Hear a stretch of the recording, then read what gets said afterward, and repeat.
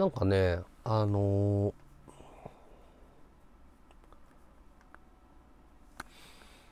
うんなんかすごい好きだったあの女の子がいて。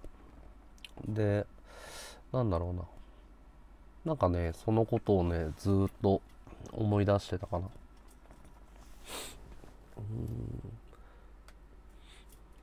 うーんなんだろう。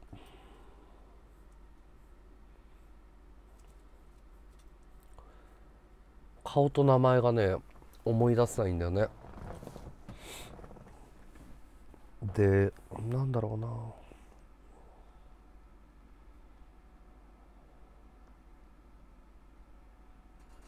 うん。なんかこうあのなんだろうな。その誰かさこう人のことを好きになってさでこう大人になっていくとさこう距離感みたいなものが生まれていくわけじゃん。でうーんと俺はその距離感が下手な人が好きなのよすごくその恋愛にしても何にしても距離感を間違えちゃう人がすごく好きなんだけどわかるかな？こうその距離感って多分普通の人はさ大人になってくにつれてその踏み込んじゃいけない領域っていうのを自分の経験上作っていくもんだと思うの。だけどその深く入っていけないんだよねそうなっていくと。でもなんだろうなうーん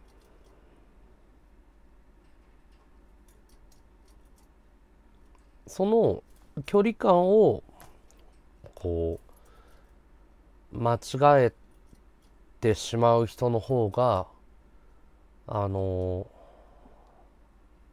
何かを作ったりする上ではいいのかなっていうふうに俺は思うんだよ。計算っていうかなんて言えばいいのかな。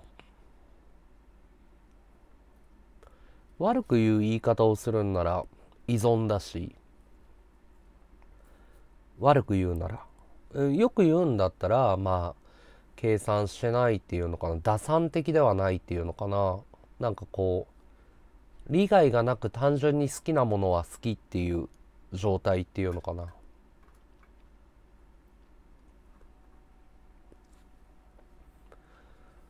そう。でそのそういう経験があってそれをねどうしてもその映画の中で表現したいことではあるのよ。その自分の映画の中で消化したいなっていうかその一回そのただねすごく難しいのがねやっぱりね忘れていくんだよね。その人ってすごいもんで。だからなんて言えばいいんだろうな。今作らないといけないものとかその時その瞬間に作らないといけなかったんだけど本当は。文章でも曲でも映像でもまあ語りでもいいんだけどその時の気分のログを残していかないといけなかったんだよね。あのもうその自分の中でかなりその記号化されちゃってるというかあの忘れてるんだよね。そうそうそうそう。蓋をしてるのか忘れてしまったのか。でもそのうん作らないといけないなってずっと思ってるってこのままに来ちゃったんだけどうんそれをねどういうふうに表現したらいいんだろうっていうのがずっと悩んでて。うん。そうそうそう。うん。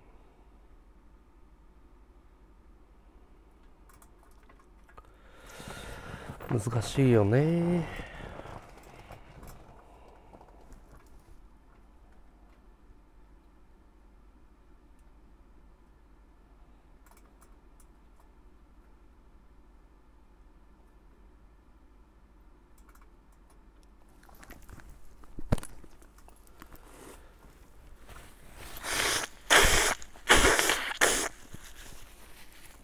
それをねちゃんとちゃんと記録に残したいんだけどね。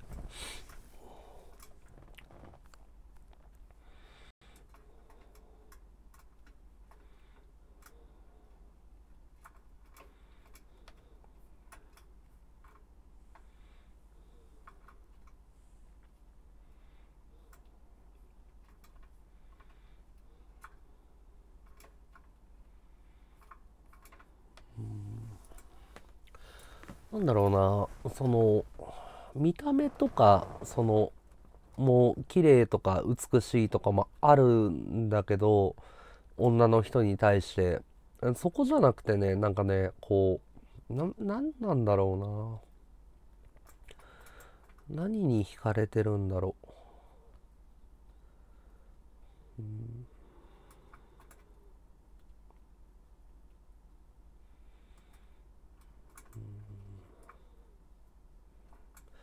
なんかねその絶対大事なことなんだよね。素直な心じゃないんだよね。もっとだからもっと危ないものなんだよね。危険なものというか。うん。そういう経験ない？なんか。うん。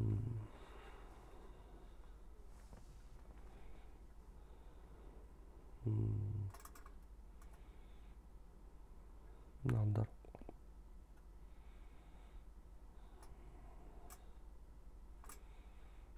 う。うん。うん。難しいな。なんか普通にあるのかなと。このかわいいな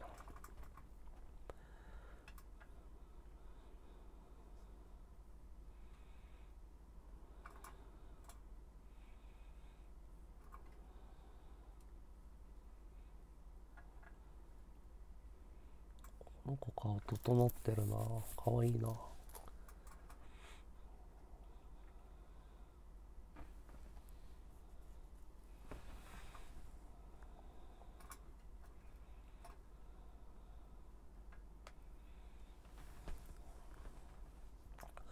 素直な心。うーん。何なんだろう。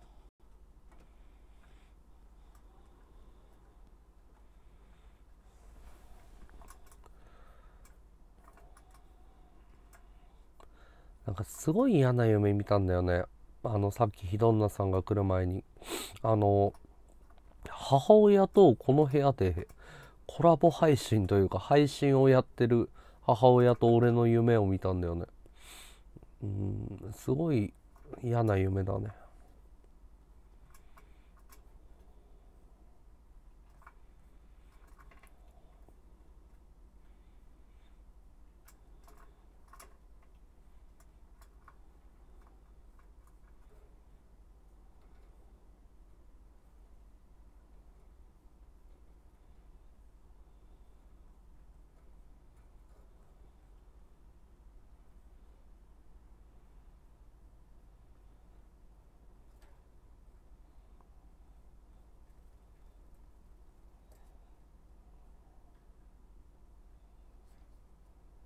なんかその小学2年生の時にさあの母親からこう殴られたりとかいろいろされたんだけどなんかねすごいねその俺記憶力めちゃめちゃいい方なの。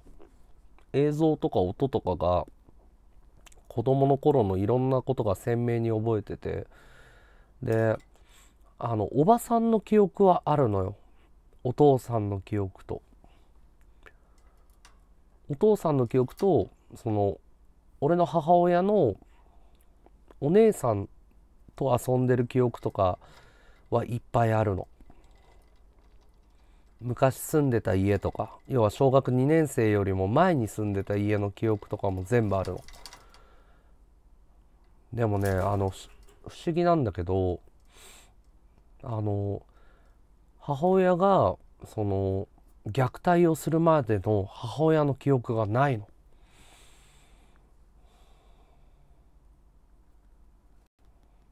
であるのはその母親じゃない母親の記憶なの。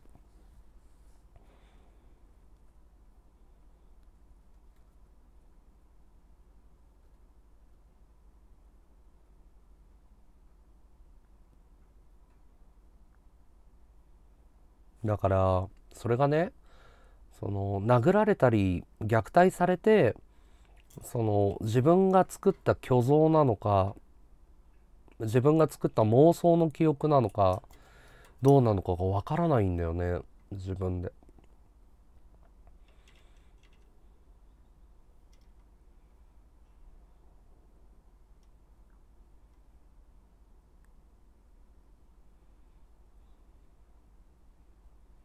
あこの人ドレさんに喧嘩売ってた人だ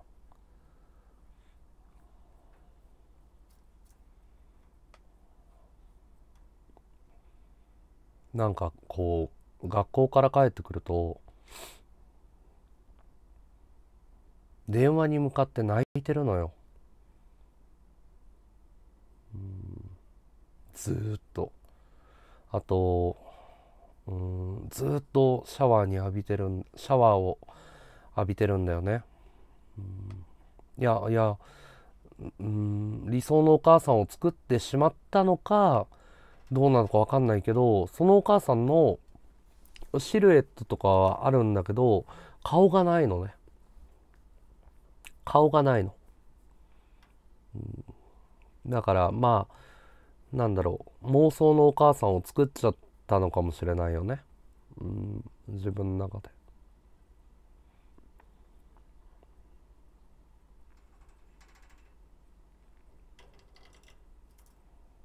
う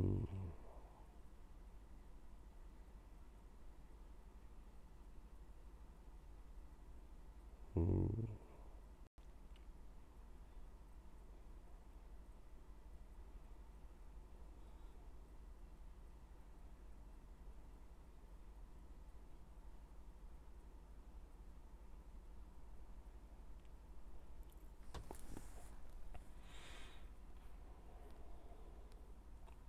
その何年ぐらいかな？2年間ぐらいかな？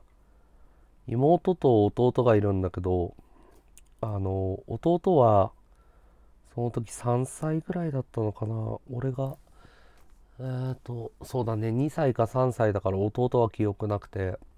で妹は何個下だ？妹は3個下じゃない？2個下かな？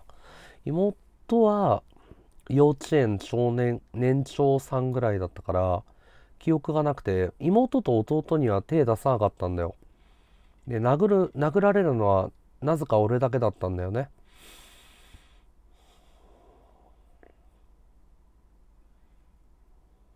うん。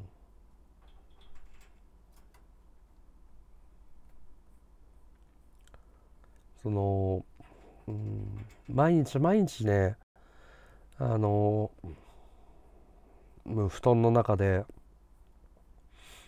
うんお母さんを元に戻してって何回もね神様にお願いしたんだよね。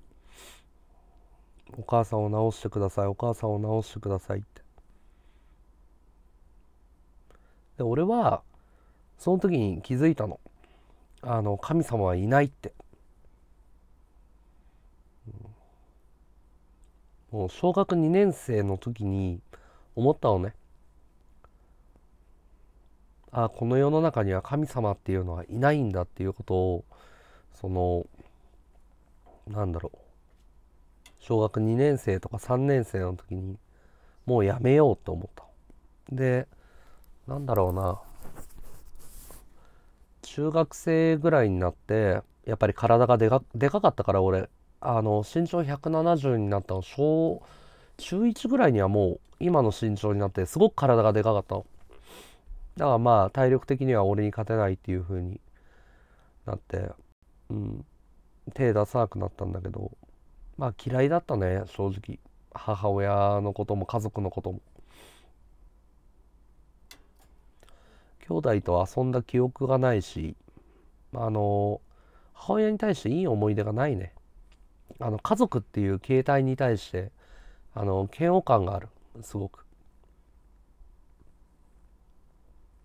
あとその何て言うのかな。うん。やっぱりお父さんにその捨てられたっていうかね。そういうのは子供の頃持ってたかな。好きだった人に捨てられたっていうか。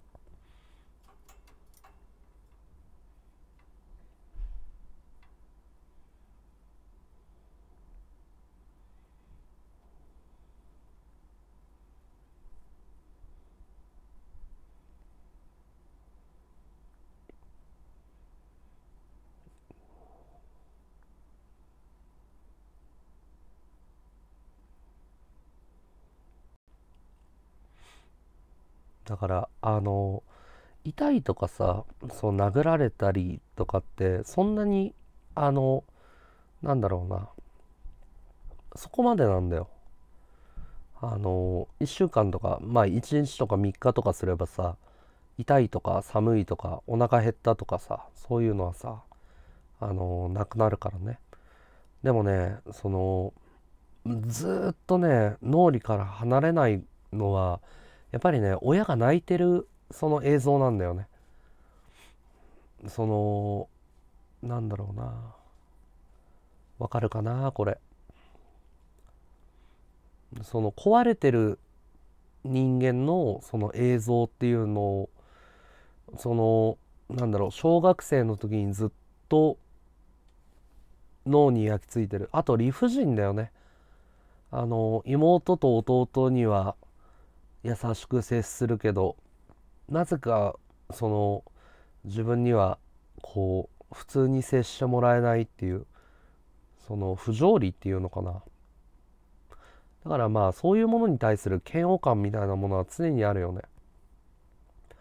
あの弱いものに手を出す人とかそのなんだろうな不条理な人っていうのかな。うん。だから忘れられないのがやっぱりずっと「お前なんて産まなきゃよかった」って言われてその育てられたのとあと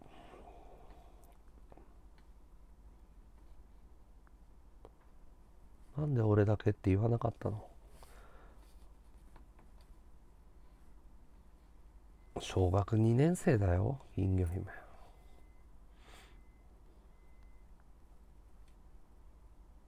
誰がうん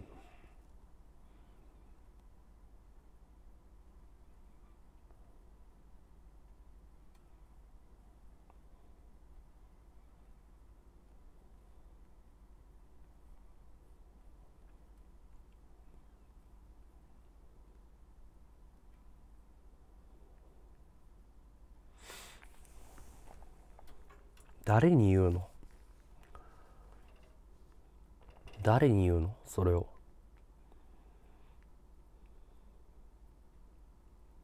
なんで俺だけっていうのを誰に言うの？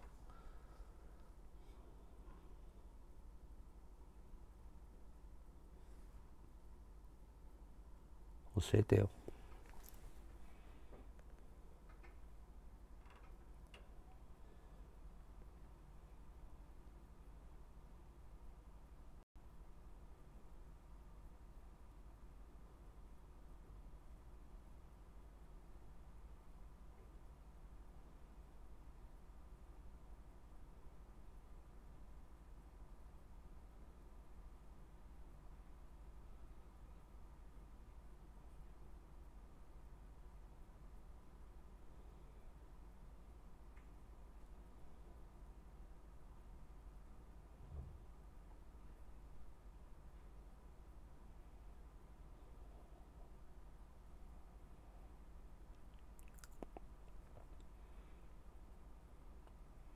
寝てる時になって馬乗りになってさボコボコ殴ったり寝てる時に思いっきり踏みつけてくるようなお腹とかをだよ。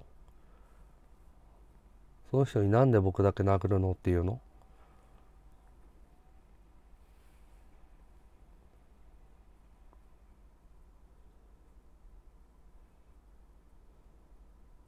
だから発狂しながら言ってたよ。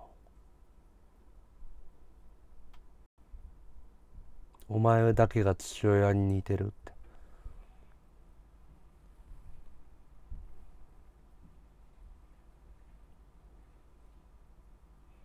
何度殺そうと思ったか分かんないよね本当に。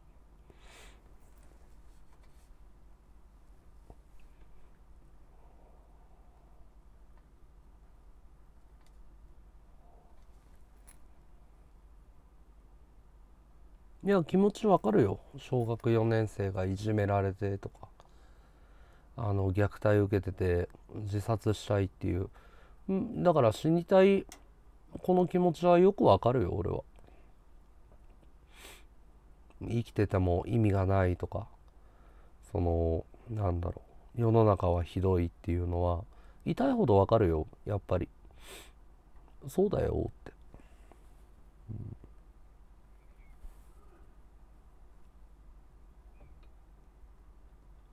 だから本当に神様がいるんだったらぶん殴ってやるっていうのは本音だからね。冗談でも何でもないよ。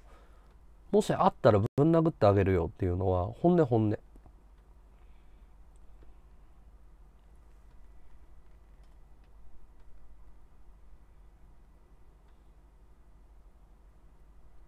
いや分からないから殴るんだよ。な分からないから虐待してる。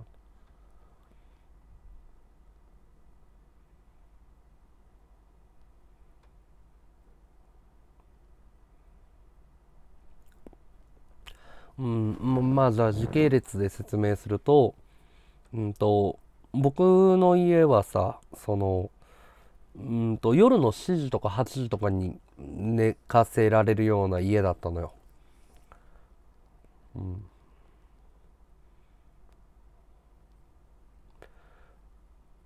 ん、である日うんと小学2年生の弟が2歳か3歳もう赤ちゃんだよねで妹が幼稚園の年長さんで俺が小学2年生で。ある日ね夜中の12時ぐらい俺と兄弟とか全員上の2階の部屋に一軒家に住んでて2階に各部屋があったの。妹の部屋弟の部屋俺の部屋って。でえっ、ー、と親は、まあ、リビングがあってお風呂があってトイレがあってっていうの全部下にあって。で、えー、と寝る和室があって両親がっていうである日その父親と母親がまあまあ父親と母親がっていうか母親がまあなんか泣いてるんだよ発狂してるので多分夜中の12時ぐらいなんだけど生まれて初めてだよそんなのあの呼び出されんだよ俺と妹がで、ソファーに座ってるんだよ。母親が。右側に。で、左側に父親が座っていて、で、父親の方はひょうひょうとしてて、で、母親の方は泣き崩れて、もう発狂してるんだよね。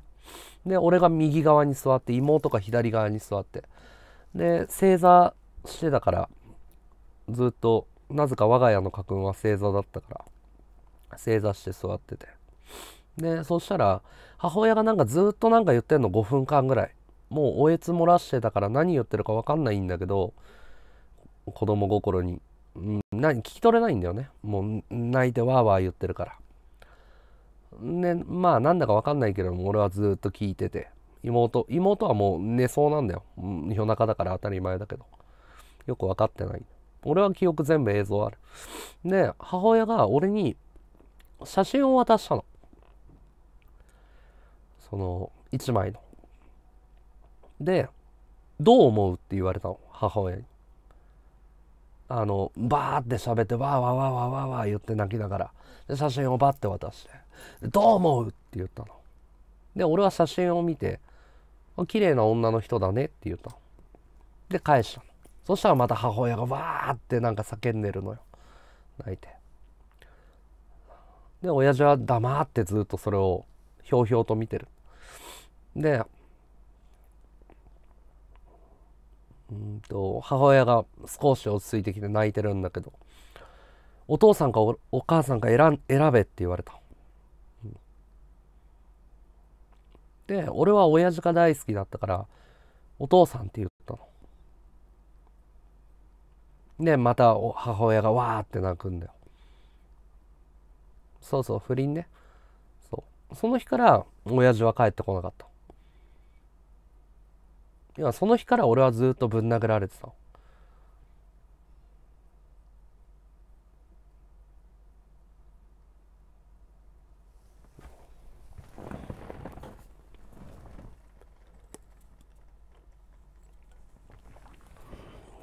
で親父は俺だけを引き取るって言ってた。俺だけ連れてくって言った。溺愛してたから俺のこと親父は、うん、でも俺の母方のばあちゃんの方がまああのー、4回離婚してるからばあちゃんは。あの兄弟だけは話したらダメだって不平等になるって言って。で女が育てるもんだっていう考え方の人だから昔の人だからあの兄弟3人は話したらダメだっていうことで。で親父もその裁判所とかでまあいろいろあったけど結局母親に育てることになるんだけど。うん。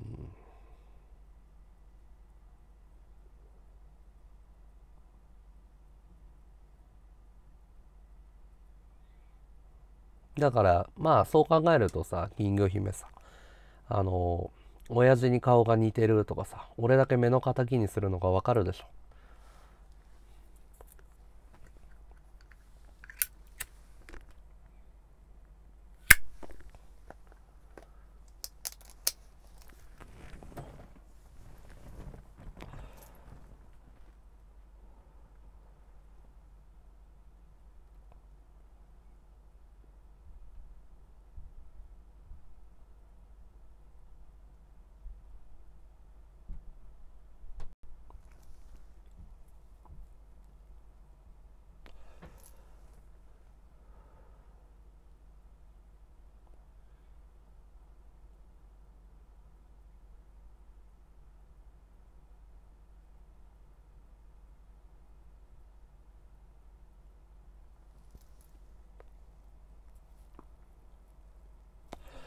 ってるね。えっ、ー、とね、小学4年後、中学生だったかな、一回会いに行って、大きくなってから4、5年ぶりぐらいになって一回会って、ご飯食べて、ディズニーランドだったかイクスペアリー行ったか忘れたけど、一日会って、で、そっから2年に1回とか1年に1回とか会ったりする感じかな。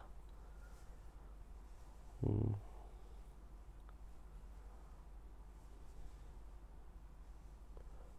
まあでも、なんかお父さん、まあ、うーん、なんか普通の、その、親父っていう感覚とは、まあ違うよね。やっぱり。ああ、最近は会ってないね、なんか。だからもう、なんだろうな。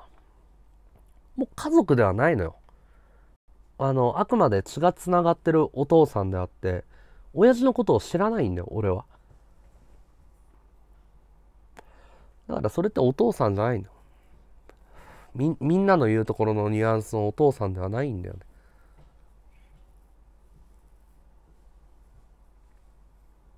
ああ、それ同級生に言われたけどすげえムカついたな。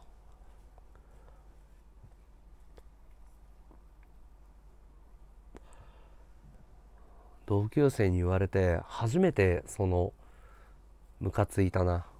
人、人、同級生にの女の子なんだけどそれを言ったのは。仲が良かった。それからその子とはもう話さなくなったな。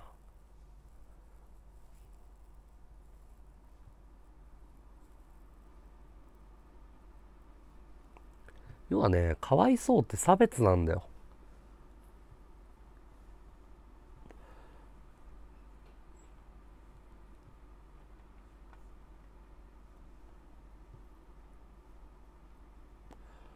まあまあそういうものかわいそうは差別っていうニュアンスとかもその作品に載せたいニュアンスではあるんだけど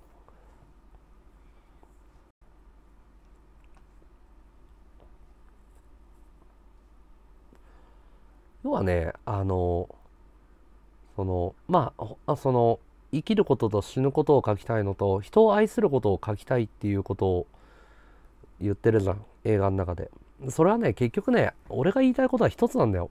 要はね愛なんてないっていうことを言いたいの。もうそれそれに尽きるんだよ。一言で言うなら。その身も蓋もないようなことを言ってしまうならなんだけどその愛なんてものはないんだよっていうことを映画にしたいんだよね。そう。それはみんなが愛だと思ってるものは実は愛じゃないんだっていうことを書きたいの。でもねあのー、まあいろいろあると思うの。いやあるっていう人もいると思うんだけどあのねそれ分かるよっていう人はたくさんいるはずなんだよ。その感覚の問題でいや和道って言ってること分かるよって。絶対共感されると思うの。だからその映画を作る上でずっと言ってるのがそのまあ多くの人が分からないし不快だと感じるけれどもごく一部のその特にその俺の放送を深く見てくれるようなメンヘラの女の子とかよくわかるはずなの。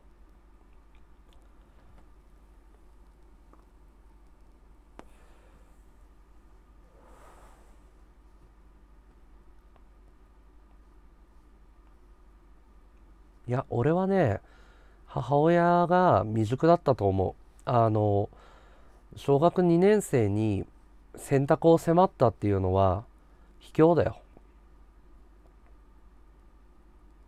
その小学2年生で何もわからない子に親をどちらか選べっていう選択をさせた方がおかしいんだよ。聞くもんじゃないんだよ。自分で決めろっていう。でその選選ばせてあげくさ裁かれたわけでしょ。俺は。選ばれたくないんじゃないんだよそしてね多分ね母親はね分かってて言ったんだよ。俺が親父のことを選ぶっていうのを分かってたんだよ。親父も俺だけ連れてくっていうのを分かってたんだよ。そうとしか思えない。分かってて聞いたんだよ。分かってるからこそ私の肩を持ってほしいっていう心理が働いたんだよ。こんだけひどいことをした父親なんだから私のことを肩を持つに違いない私を選んでくれるに違いないっていうそういう浅か浅はかな判断からそういう選択を迫ったんだ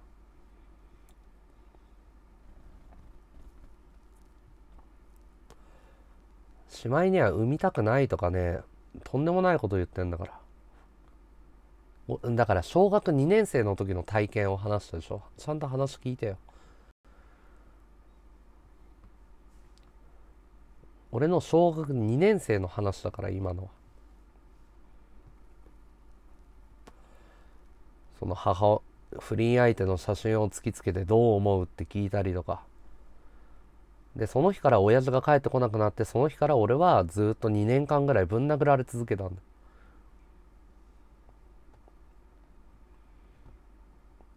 父親が帰ってこないの分かってるのに本人は。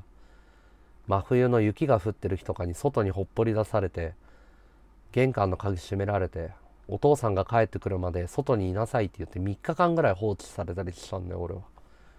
でも妹も弟も知らないんだよそれを。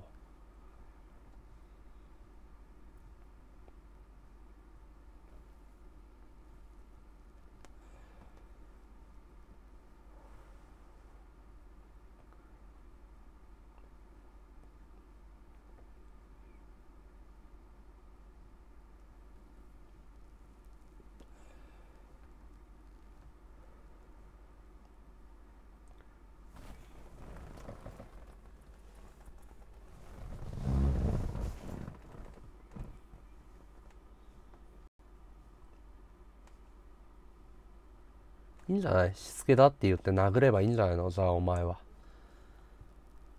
しつけだって言って自分の子供を殴って蹴ってほっぽり出して飯も与えないで産まなきゃよかったって洗脳のように毎日毎日怒鳴りながら発狂しながら言えばいいよ。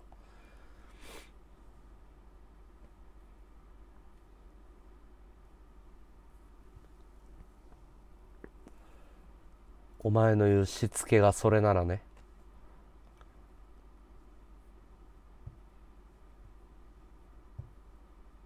そうすればいい。別に止めないよ。止めないしお前の考え方を尊重するよ俺は。好きに育てりゃいい。自分のエゴで産んだんだから。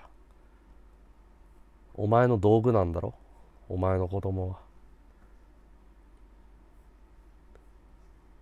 だからお前は子供に捨てられるよ。ざまあみろ。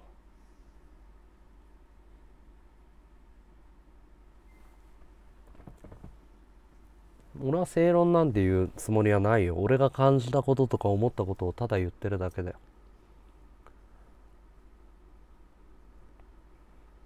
俺は正しいことは本人の中にしかないと思ってるから。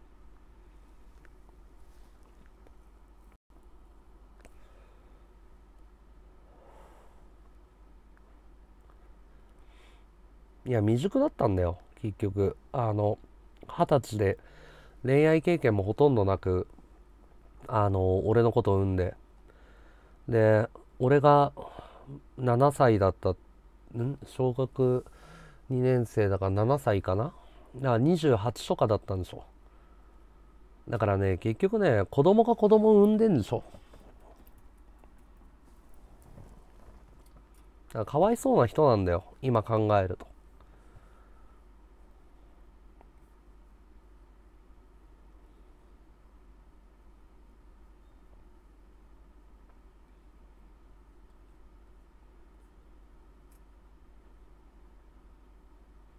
だから俺はその親を大切にしなさいとか家族を大切にしなさい墓参りをしなさいとかそういう考えもしないで俺はだから宗教を勉強したの。あそれって儒教の考え方なんだとかどうなんだとか納得がいかなかったから。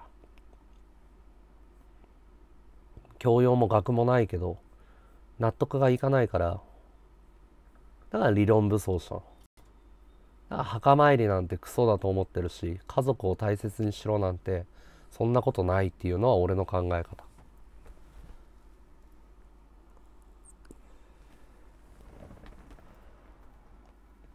俺は正論なんて言いたくないのね。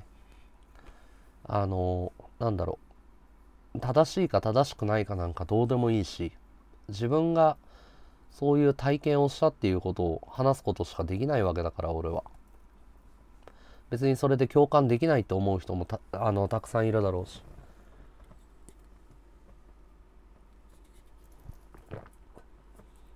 要はシステムなんだよ。国がその広大な中国大陸っていうのを支配するために生み出す仕組みなのね。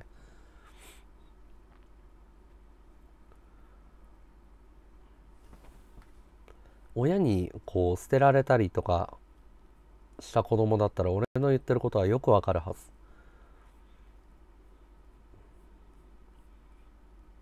無条件に親を愛せってどういう理屈だって思うね。あの殺されたさっきも話題に出てたけど殺された小学生にそれを言える？うん俺は言わないけどね。うん。自殺までしちゃったんでしょ？俺はまあ臆病だから死ぬ勇気なんかないし。あのずるずるだらしなく生きていこうとは思ってるけどうん小学生がね自殺にまで追い込まれたっていうことに対してこうリアリティはうん人よりも感じる方なんじゃないのかな。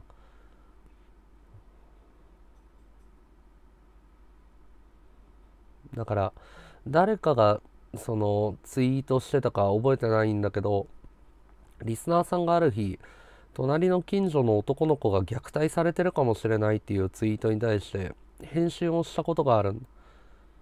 で俺はそれは悲しいことだねっていう風ないろいろ考えた上でその人に対して悲しいことだねっていう風に送ったの。隣の家の人が虐待されてるかもしれない。悲しいことだね。その時に返ってきた答えっていうのが本当にそう思うっていう風に返ってってきたんだけど俺はそういうニュアンスで言ったんじゃなくてあなたが助けないことが悲しいことだねっていう意味で俺は言ったの。見て見ぬふりをして俺はそのぶん殴られてる男の子がどういう気持ちで誰かに助けてほしいでも助けてくれないっていうのをよく分かってるから。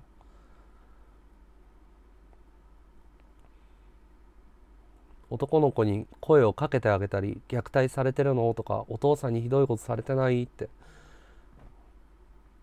その声をかけないんだよね。ツイートをするので多分精一杯なんだと思う。でもそこで声かけてね児童相談所とかに電話してあげたりとかするだけで多分その子の人生は少しマシになる。誰かがその助けてくれるんだっていうその救われる経験っていうのが絶対救いになるっていうのは分かるから、うん、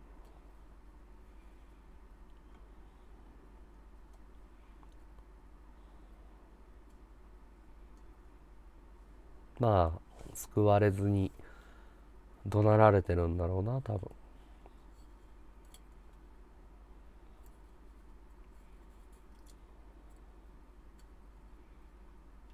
うん。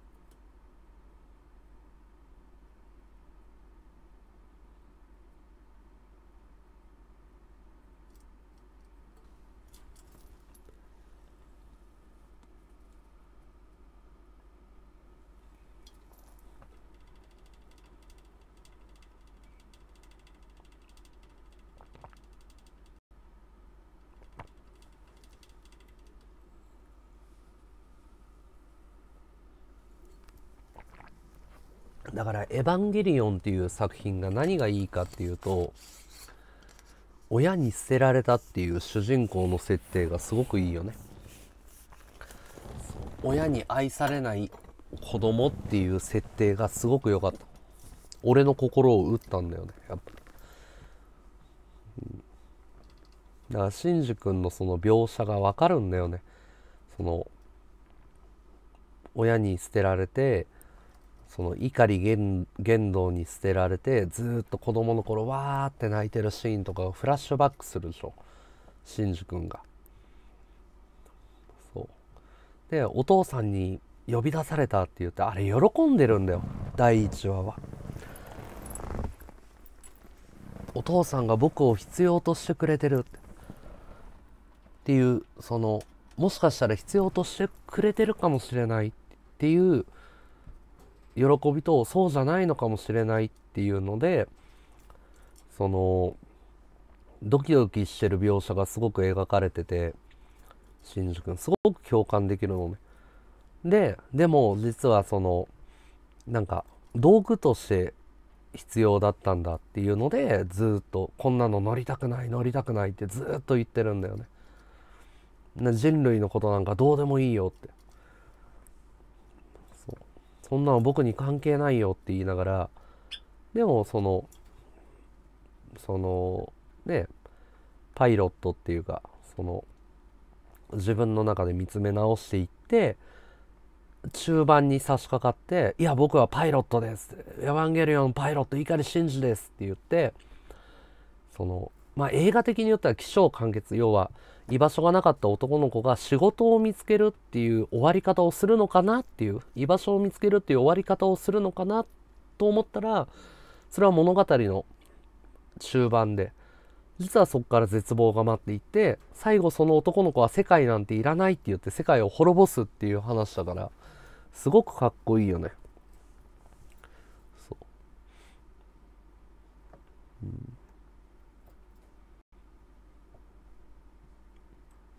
あれは面白い。そう。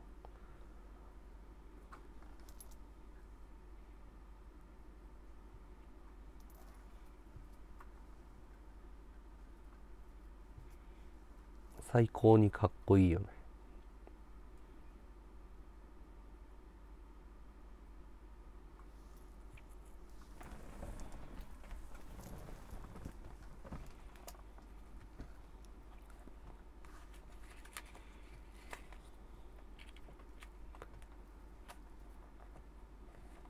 だからそのなんだろうな。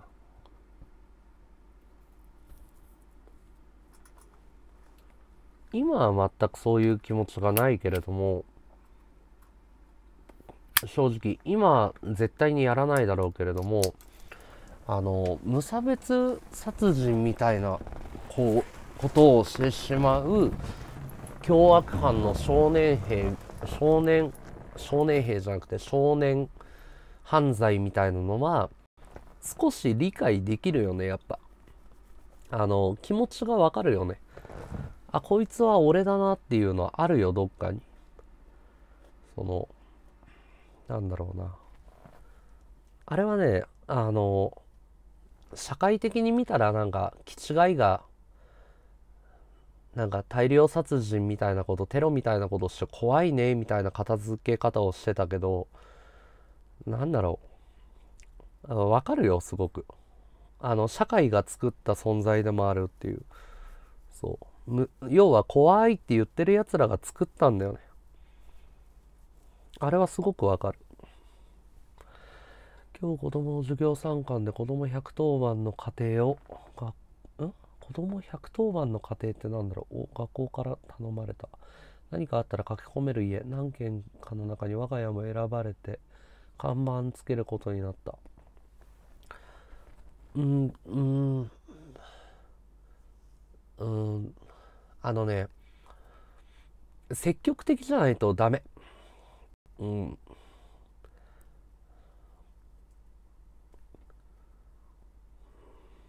あのわかるかな？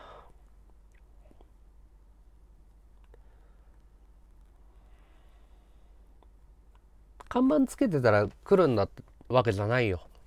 あのいやいや悪く言うつもりないよ。看板つけることいいことだよ。あのなんだろう。ぶん殴られてる子供が自分から相談に行くわけないよね。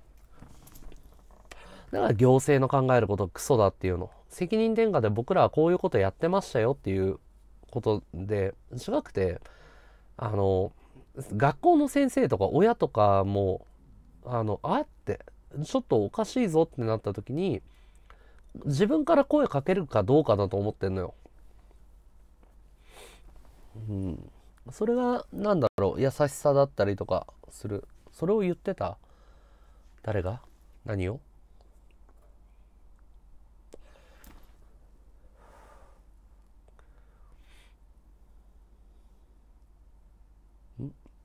それを言ってたっていうのは誰が？金魚姫がん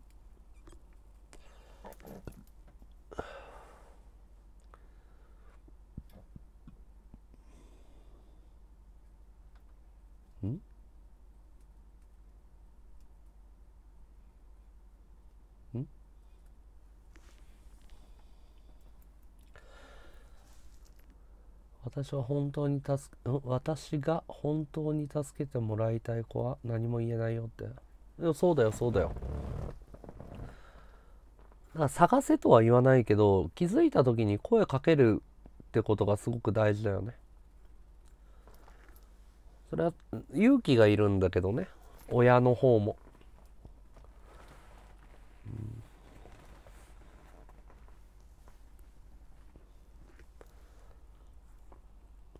要はねおせっかい焼く人が減った。おせっかいおじさんが。あのリスクをリスクだって考えるようになったんだよね、うん、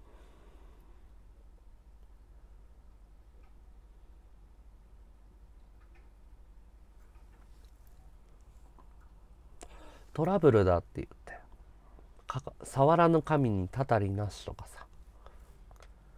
自分が迷惑を被るかもしれないとかさ。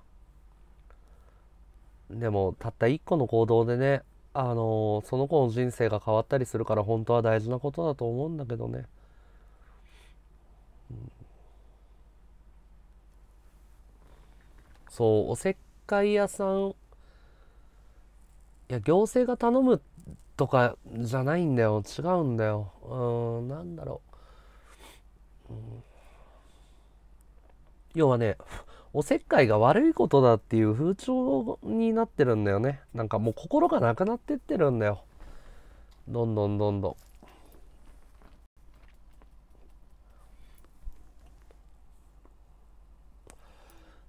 それこそなんだろう打算的というか。いやだからねオウム真理教が流行ったのはよくわかるよ、うん、オウム真理教が流行ったのもわかるし無差別殺人もよくわかるよ本当に。頼まれてもやるっていうか人の痛みが分かんなくなっちゃってんでしょ多分。自分さえ良ければいいっていう人が増えたんだろうな。悲しいけど。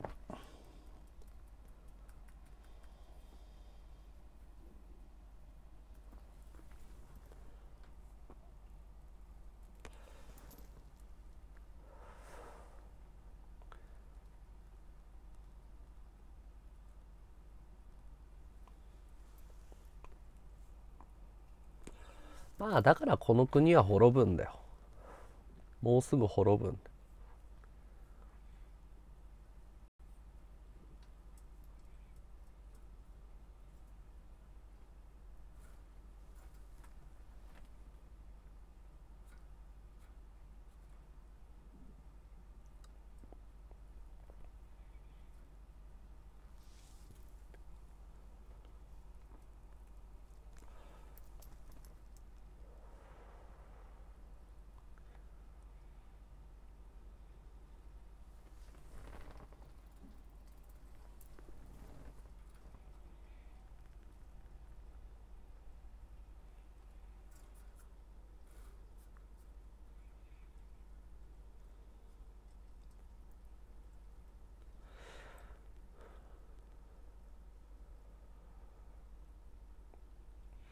だん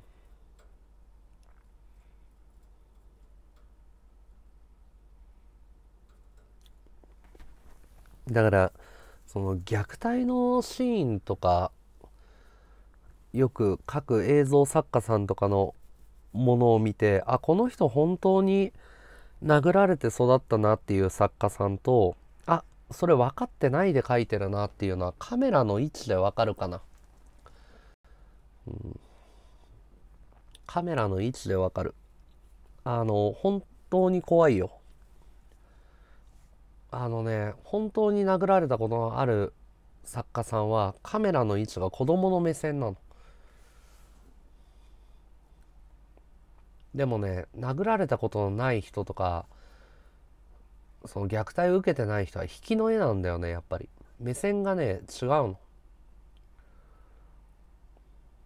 そういう細かいディティールとかはまあ虐待をテーマにするんだったら半端じゃなくリアリティあるものを書けると思うよ。それこそ気分が悪くなるような映画見てる最中に感受性高い人ははもう吐いちゃうようなね。映画館出るようなね。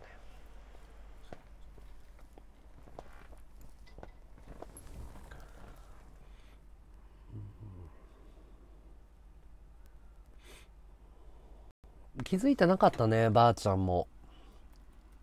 周りが。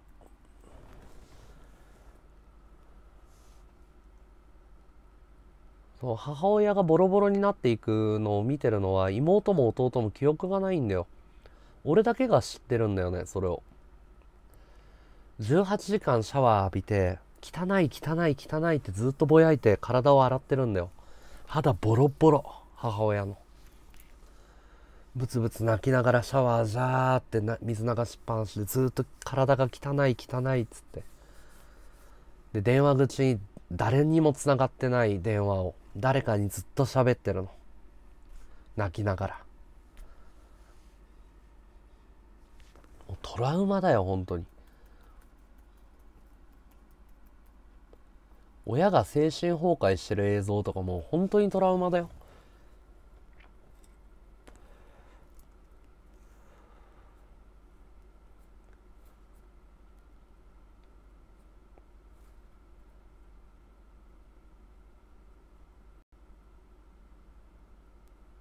完全に壊れてたからね。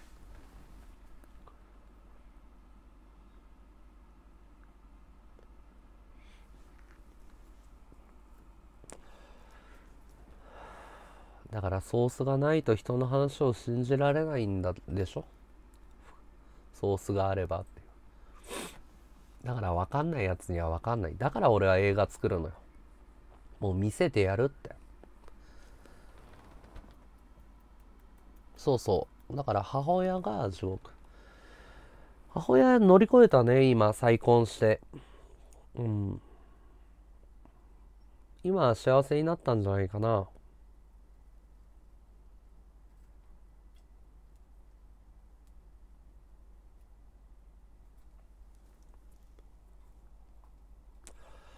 知らないけど。気づいたら再婚してたから。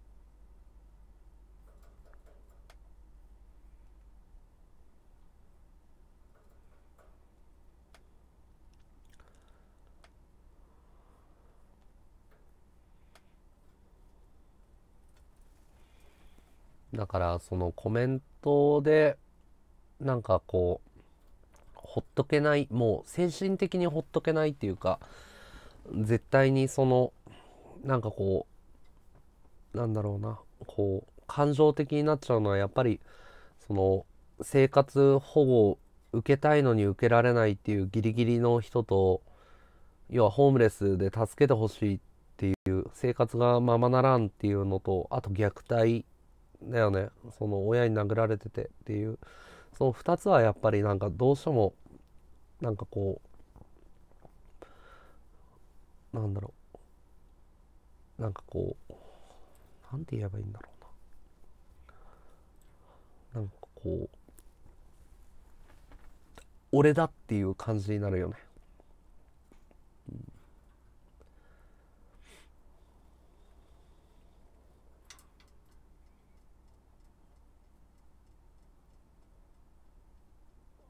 ちょっとトイレ行ってくるわ。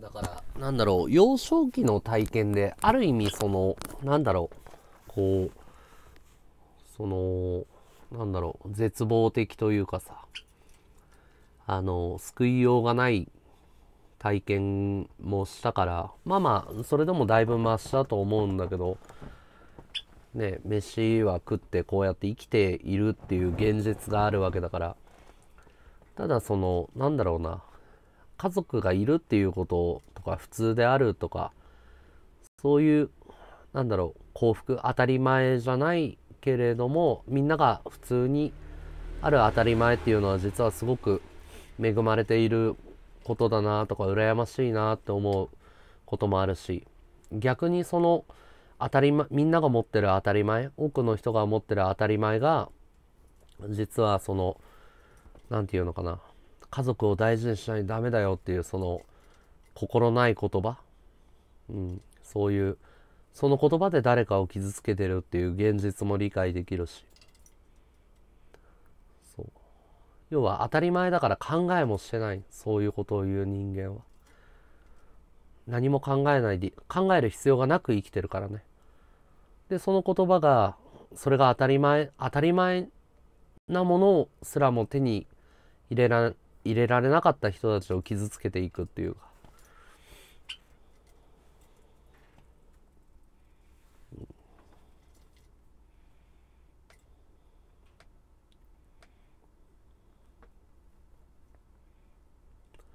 あまあ俺はなんだろうそのなんていうのかな。その家族だから結婚願望ないんですか？も俺の中では一緒なんだよね子供欲しくないんですか？とか。そういうのも一緒の言葉だと思ってて。あ考えてないんだなって。あなんかあ幸せな生き方してる人ね。っていう。はいはい。みたいな。鈍感な人っていうのかな。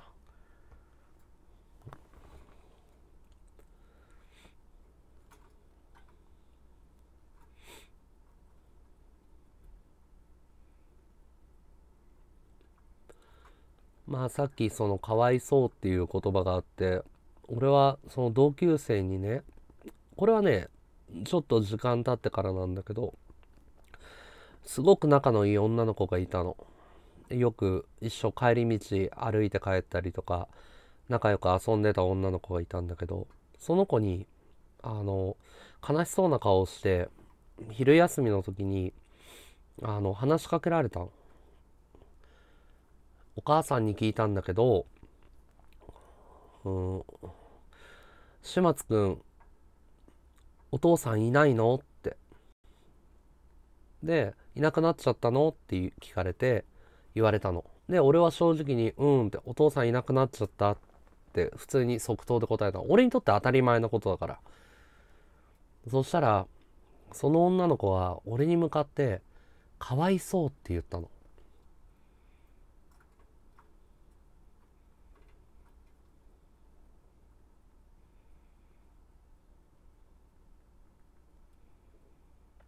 要はねその時の体験はねもうねうん俺は怒りを感じたのね。もちろんその子が同情とか哀れみの心でそういうつもりじゃなくて言ってくれたんだけど俺は生まれて初めてあこれが差別の根源だっていうのを体感で分かったね。かわいそうって。要は対等な関係じゃなくなったんだよその子と。昨日まそそのその子と俺はその対等でフラットな関係で友達だったのが急にかわいそうってねあの蔑まれたんだよね。俺はもうその子とは仲良くなれなくなったねその日から、うん、こいつは俺のことを下に見てるっていう。そう。それは初めて体感したかな小学生の時に。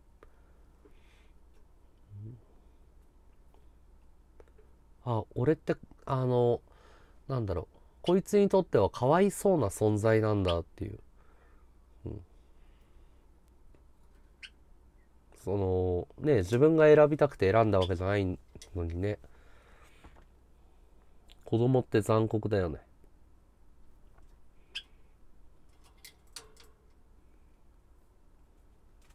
だから俺はあんまりかわいそうっていう言葉は使いたくないんだよ。人をその下に見てる時に使う言葉だから。ああえて使うとするならバカにして使うんだよね。かわいそうなやつだなっていうのは。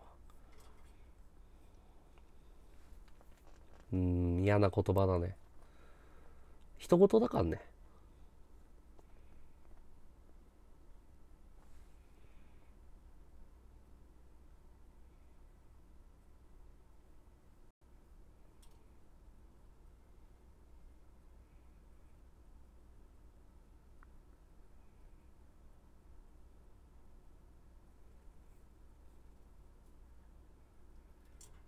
そう。わかる。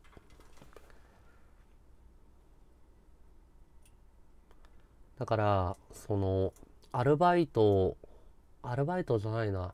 正社員になって初めての給料をもらった時に俺は実家に行って母親を呼び出したの。ででおごってやるって言って。あの居酒屋行こうって言って。で居酒屋地元の居酒屋のカウンターで酒を飲んだの。あ19歳だったからごめんね。昔の話だからあのごめんね。違法なんだけど。それはあのごめんなさいね。それはごめんなさいね。あの居酒屋に行っておふ おふくろも悪いんだよね。止めないんだから。まあまあいいんだよ。不良なんだから。ゴミくずだから。まあまあいいや。あの正社員になって初めての正社員の給料で通報しないでください。まあいいや。母親と飲んで。でその時にどうしても言いたいことがあるって言ってあのえっ、とお前は俺を殴ったことをなんでなかったことにしてるんだって面と向かって初めて言ったの。何お前はないがしろにしてるんだって言って。母親に面と向かって言ったのね。忘れてねえからなって。お前は子供だったから覚えてないと思ってるだろうって。俺はそのことを覚えてるからなって言って。で母親は号泣しながら居酒屋で土下座してたね。申し訳なかったって言って。だからその母親が憎んでたのはそのそうじゃないっていうのとその母親自身がそのトラウマを抱えてたっていうこともよくわかるの。その憎くてやっていたわけじゃなくてそのだからそのなんだろうな。うん。母親自身も被害者なんだよね。俺にとっては加害者だよ完全に。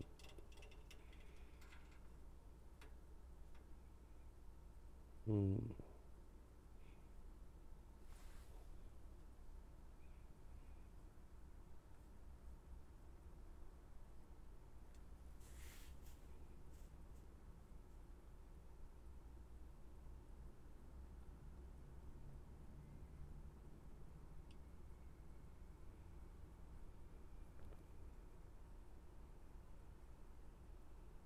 うんそうだろうね。でもはっきり言って俺には関係ないから。そうだろうね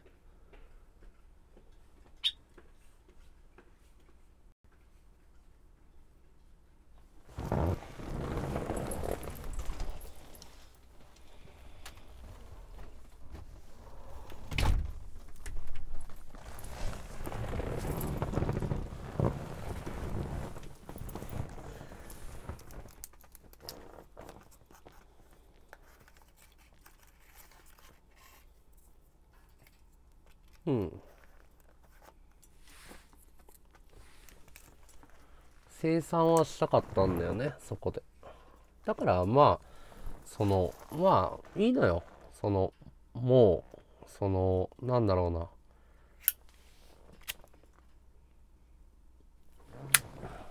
その心の整理はすごくついていてその瞬間に救われたと思っていて。そのでもああんまりねいや俺が嫌だなって思うっていうことはそこは別にそのなんだろう。俺の中で生産は終わったんだけどその何て言うのかな。コメント欄とかでもなんかこう俺がイラッとするのはお母さんに会いに行かないの？とかその家族は大事にしてないの？とかなんか兄弟はどうしてる？とかいうコメントはあのいや関係ねえだろお前はっていうお前どこの誰だよっていうのは感じるの。でいや俺親とかと会わないし絶縁してるからって説明してもした時に誠意を持って対応した時にお前はやっぱクズだなみたいなことを言われるとやっぱりその何て言うのかなまあまあ幸せなやつだなって思うよね。まあその家族とかを考える考えなくて当たり前を手にしてるわけでしょ？だからまあこの話を聞いてようやく意味がわかると思うんだよ。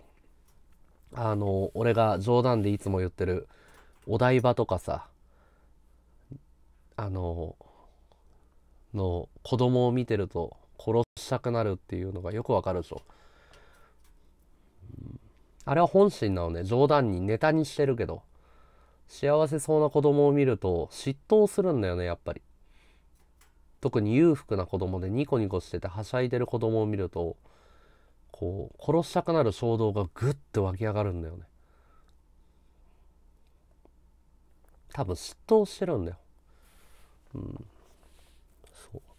こいつとは仲良くなれないっていうのが分かるの？自分の中に。こいつが大人になった時に俺のこいつは家族を大事にしなよって俺に向かって平気で言うやつなんだって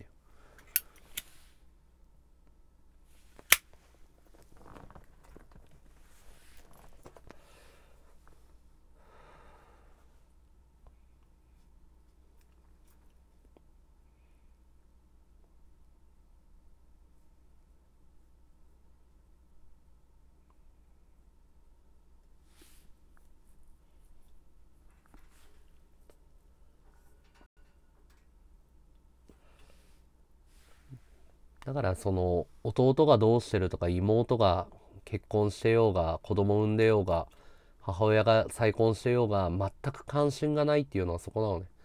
死んでようが生きてようが知らないっていう。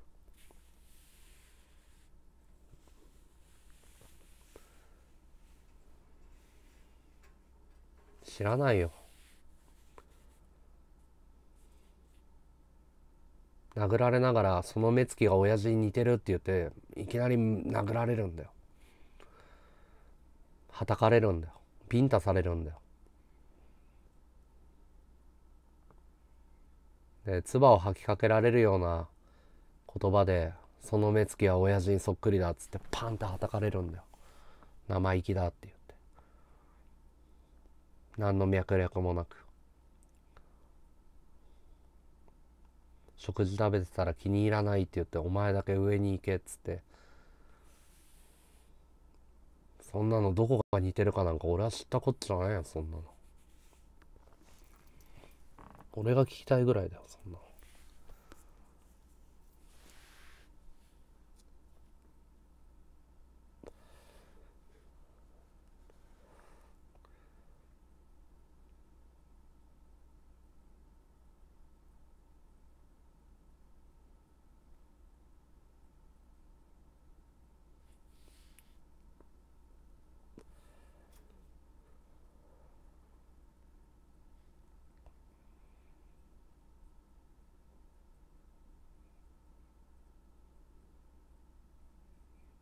だからねあの年上の女性が好きになるのはね自分でもね分かってるんだよ。もう完全にねあの本当の意味でのマザーコンプレックスなんだよ。あの要はねそのもう分かってるの自分で。あのなんで女性に対してそのなんだろう年上の女性を求めてるかっていうか自分が潜在的にねあの自分の母親に対するマザーコンプレックスってそのマザコンって意味じゃないの。母親に母母っていうものに対するコンプレックスなの。だからそのなんだろう優しくてその女性らしくてそのなんつうの柔らかい感じ。その自分の母親と全く逆のものを求めててでそう理想のお母さんを求めてるんだと思うの。自分がね不正不正じゃない。母性か。母性を感じる。人がそう惹かれるんだよね。だからマザマザーコンプレックスなんだよ。本当の意味ではマザーコンプレックスなんだよ。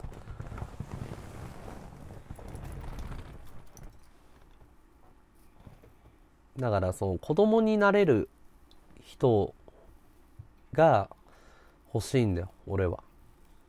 多分。そう。愛してくれる人がいい。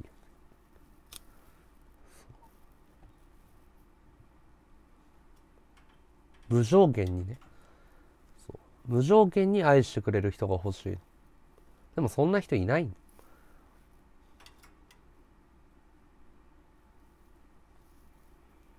そう。それが俺のカルマの。それが俺の業なの。これは。業っていうのはそのまあなんだろう。現代語で言うと運命っていうか。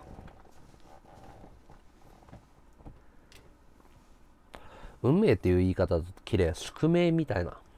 業だよね。カルマ。いや呪いだよ。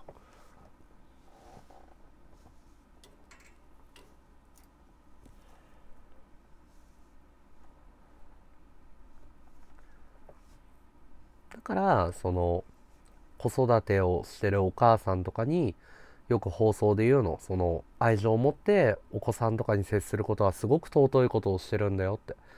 お弁当一生懸命手作りで作ってあげたりとかその洗濯物取り込んだり育児とかすごく大変だけどあなたはすごく尊いことをやってるんだよってたまに言うでしょ。昼間の枠とかで。それはそのなんだろう。それでその犠牲が犠牲者っていうのかな。その子供が一人救われるんだよ本当に。あの俺は無条件に子供を愛されるべきだと思ってるから。それがね別にね俺は親じゃなくてもいいと思ってんの。あできれば実のお父さん実のお母さんに愛されるべきだと思ってるけどそういう境遇にない人もいるからね。あのそれだったらまあおじいちゃんおばあちゃんうん、もしくは金んと血がつながってないけれどもお父さんお母さん、えー、施設の先生学校の先生もしくは俺は配信者でもいいと思ってるそれは、何でもいいから誰かにその愛されるべきなんだよね。その無条件に。誰でもいいの。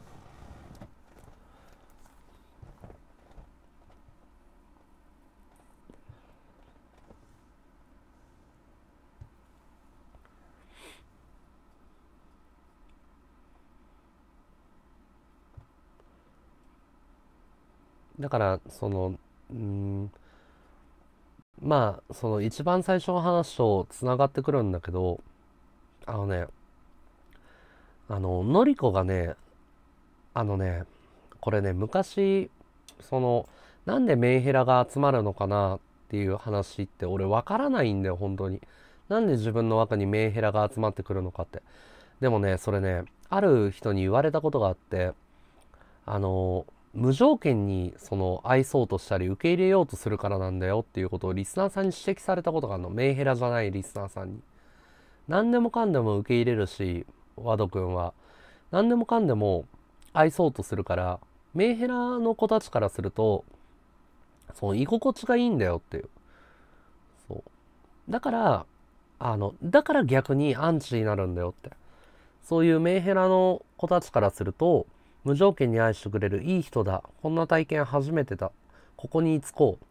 でもそれがだんだんとだんだんとみんなに対してやるからなんで私を愛してくれないのっていう独占欲に変わってであこの人は私を愛してくれるんじゃなくてみんなに対してそうなんだっていう。私だけを愛してくれるんじゃないんだっていうのでアンチ化するっていう。っていうことは指摘されたことがある。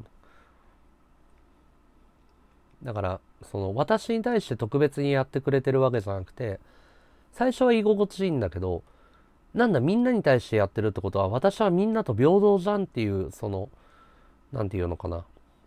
冷たい人じゃんっていう風に見られるんだって。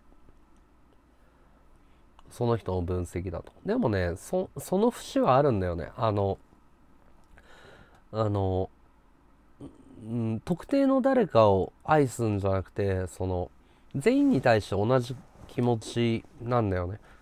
そう。だからその異常なんだよねちょっとね。普通だったらさ優先順位をつけるんだよ普通の人は。そのなんだろう。お金をいっぱい払ってくれる人容姿がいい人若い人とか順番をつけるでしょ。俺極端に順番つけないじゃん。気に入らないやつは気に入らない。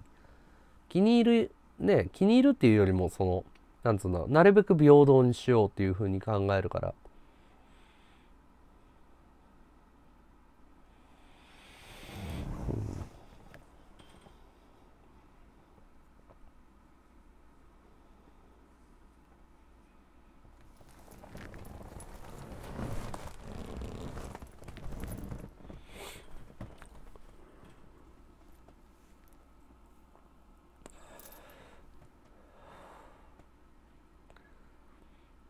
いやみんなの親っていうつもりはなくて、ん、そのなんだろう。大切な人だよね、うん。まあ、みんなにとっての居場所に居場所っていうか空間になればいいなっていうふうな思いはあるね。その特にその行き場所がないっていうのかな。あの現実世界って言えばいいのかな。何だろう。部屋で引きこもってたりとか社会に居場所がなかったりまあそれが会社なのか親なのか学校なのか分かんないけどそういう人たちがまあこの枠に来た時に生き生きと楽しめるような空間であるあったらいいなとは思ってるけど。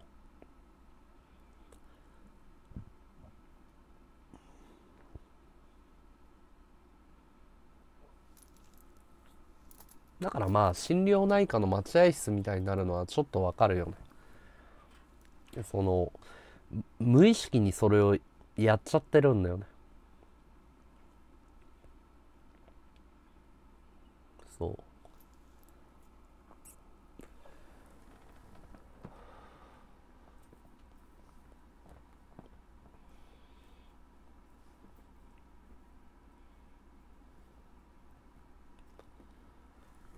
だから俺がそのなんだろう怒るポイントってよく見るとわかるけどその利己的なリスナーに変わった瞬間にイライラし始めるんだよね。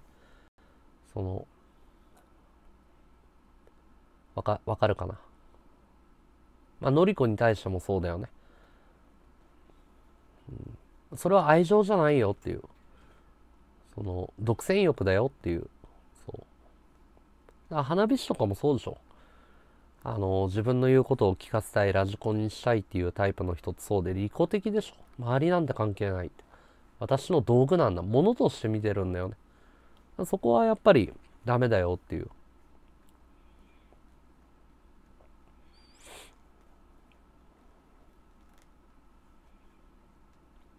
それは違うんじゃないかなっていう。他人と過去は変えられないでしょ。要は俺を変えようとする人はダメなんだよ。あのそれは自分の都合のいいように変えようとするわけだから。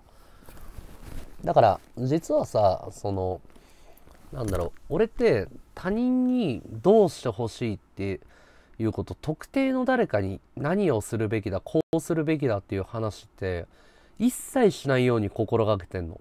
俺はこう思う。俺はこういう体験をした。俺だったらこうする。っていう話だけど必ずそこには決めるのは君だし行動するのは君だしその何て言うのかな。なんつうの君の考え方は否定しないよっていうことを注意深く言ってるつもりなんだけどね。そう。あの押し付けたくないんだよ。正しいもの俺が正しいとも思ってないしあのなんだろう。嫌なのね。その自分の考え方が全部正しいって思ったことは一回もなくて状況と場合によるだろうっていう考え方だから。ただその俺だったらこうするかなっていうことはうん言えるからね。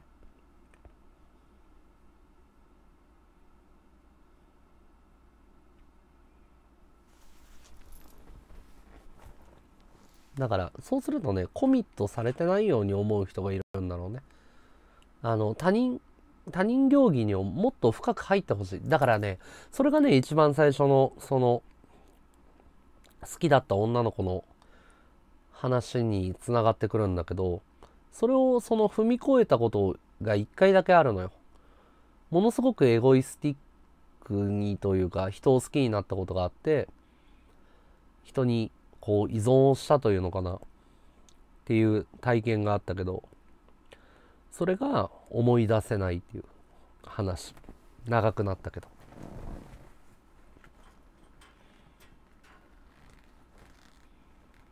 アイテムは投げていいの投げていいんですかじゃなくて、えー、もう一回言いますね。いついかなる時もアイテムを欲していますから僕は。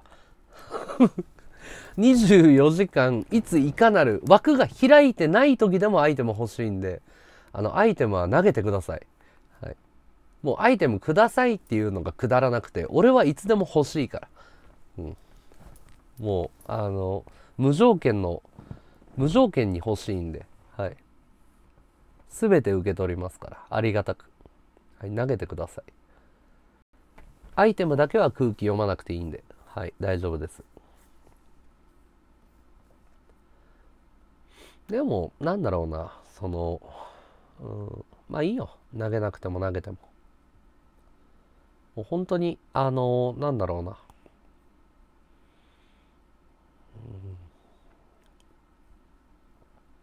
いろいろ、その、お金のこと、その配信でアイテムをもらうことについてももう散々考えてきたけど、あの、もう頭おかしくなるね。あの、ありがたく受け取るって、ねだらないっていう。うん。もう配信嫌いになるからね。うん、そう。いい儲からなかったら儲からなかったでそれでいいし、儲かったら儲かったらラッキーで、まあ、カメラの機材買う、生活、うまい飯を食うとか、家賃払うとか、そういう感じでやっていこうかなと思っ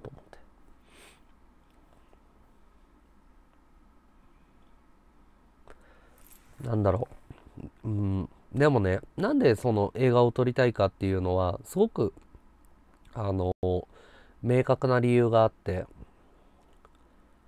あの、共感されたいんだよ、多分。要はね、和道わかるよっていう人を探してるためのツールなんだよね。あの、要はさ、俺がエヴァンゲリオンっていう作品のシンジ君に共感したわけじゃん。安野さんの考え方っていうか。安野さんの作った世界観にこう陶酔したわけでしょ共感したわけでしょこれわかるっていう。それをやりたいんだよねただ単に。あのでみんなが思ってる普通の人が思ってるよりも俺はとんでもない数がいると思ってるの。そのうんと今は33歳だから言語化できてる。あの理路整然とそのなんだろう。問題が解決してるんだよ。でもね、多分ね、そう、渦中にいる人からすると、ものすごい絶望の中にいて、ものすごい、その、苦しい、本当に言葉にならないような苦しさを持ってるっていうのが、俺の中では、その理解できるのよ。その、うん、あのね、じゃあ、その、例えばね、無差別殺人の犯人の気持ちがわかるっていうのはね、これみんなわからないでしょ。あの、なんか車で突っ込んだりとか、ナイフで切りつけていったりっていう無差別に知らない人、これ多分理解できないと思うけど、俺が強烈に理解できるのはね、あの、2つ。1つ目は、自分の命に価値がないって思ってるの。一つ。要は自分が死んでも構わない。自分の、自分には価値がないんだっていう強烈な暗示がかかってる。まずこっから入る。自分の命に価値なんてないんだって。自分は死んでもいい存在なんだ。刷り込まれてる生き方をしてしまっている。二つ目。それが社会のせいなんだって思ってるかどうか。この2つが俺はトリガーになってるっていうのが分かって自分の命に価値がないでもしその状態で2つ目にこれは社会のせいなんだ要は誰も助けてくれないだったり誰かに仕掛けられてるっていう被害妄想が生まれた時にこの2つの条件がそれどうなるかっていうと自殺をするかもうどうせ死ぬんだったら自分の命が価値がないっていうことが結びついてんだったらだったら関係ない社会ぶっ壊してやるってつながるでしょだからそれは、あの、わかるんだよ、俺は。わからない犯罪動機の方はね、要は、オウム真理教の朝原の気持ちわかるんだよ。で、二つ目。わからないのは性的な問題。要は、榊原生徒とかは性欲と結びついたが、あれは理解できない。俺は、それは、その精神疾患の方の問題だと思ってるの。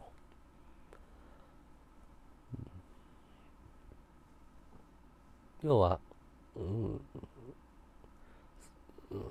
性欲と殺人衝動が結びついた場合だよねそれは。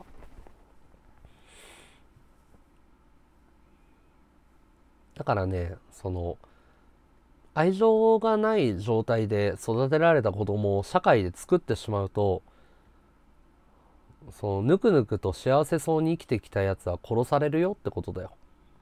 で悪魔だ悪魔だって後ろ指さされてるけど俺ははっきり言ってお前らの方が悪魔だよって思うの、うん、要は悪魔だ悪魔だ要は犯罪者にこいつこいつは悪魔だって言ってるやつの方が俺は悪魔に感じるけどね。いやいやお前が作ったんだよっていう。お前みたいなそのなんだろう。お前お前が作った悪魔だよっていうそう。思いません？もし まあ思わないだろうね。ねいやいやだからまあ思わないんだろうね。うん。いやそれがだからそのなんだろう作品にできたらいい。作品に消化できたらいいなって。そう音楽とか絵とか映画とか造形物とかそういうものに転化できたらいいんじゃないって思う。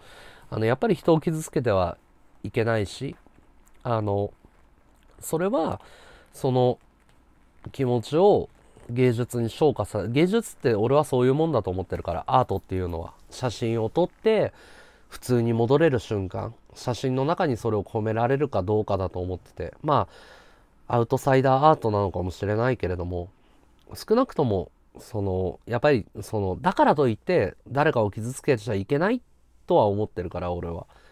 その罪はないわけだからね。その街中を歩いてる普通に幸せそうな人には。だけど俺はその二面性があるわけよ。そのあの社会お前の方が悪魔だよっていう気持ちと殺人あのその要は悪魔だって指さしてるバカどもに対する怒りとあと苦しいけど傷つけちゃダメだよっていう自分のことも自殺もダメだしあの他人を傷つけちゃダメだよって。じゃあその2つの中間点どこをどうすればいいの？っつったら俺はパフォーマンスかアートしかないと思ってるのね。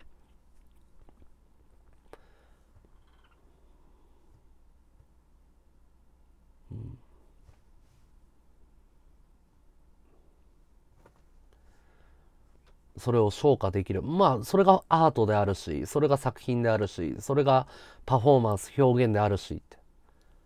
俺はそう思う。だからパフォーマーは何やってもいいんだよ。パフォーマンス中はね、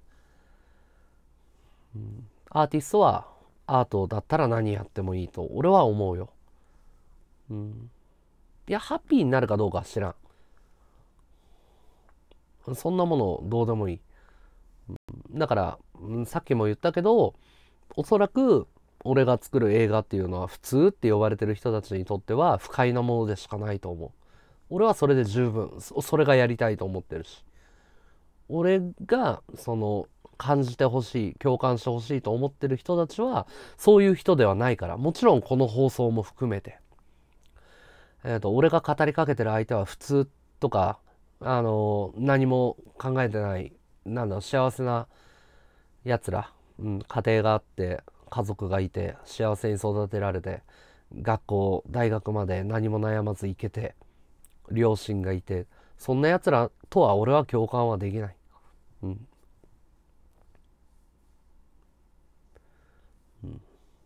俺はそのボロボロになりながら何かをこう一生懸命やって一生懸命生きてる人に向けてだけ放送をやってるわけだから。そう、要は俺がよく言ってる人間だよね。俺は人間やめたと。で人間の権利は侵害しないよって。でも人間のルールを俺らに押し付けてくんなよっていうのはそことつながってる部分だと俺は思ってる。お前ら人間は偉いんだろうって。俺は人間やめたからって。うん、だから俺らは猫だからって、うん、人間の人間に攻撃はしないと。我々猫たちは。だけど人間のルールを猫に押し付けてくんなよって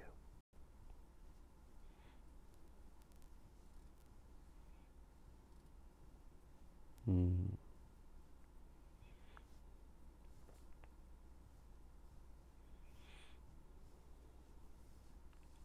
あのね突っ張ったりふてくされてるように見えるじゃんシュテファン。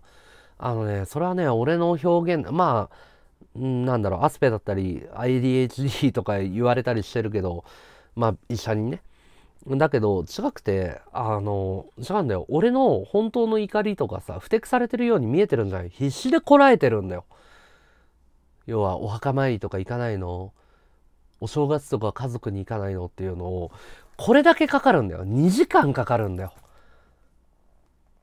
うん、楽しく喋ってる時にところで家族に行かないのっていうのを怒りを抑えてるんだよ。お前には分かんねえよ。って一言で片付けないといけない。それをふてくされてるように見られるっていうその自分の中の矛盾よ。要はデリカシーがないんだよ。そういうだから共感できない。俺はそういうやつだと。俺はそういうやつが嫌いなの、今は時間があるからこう2時間かけてどういう理由でどういうことでどうしてそういう思いがあるからこういう考え方になってる。要は体感を話したわけじゃん。経験を話したわけじゃん。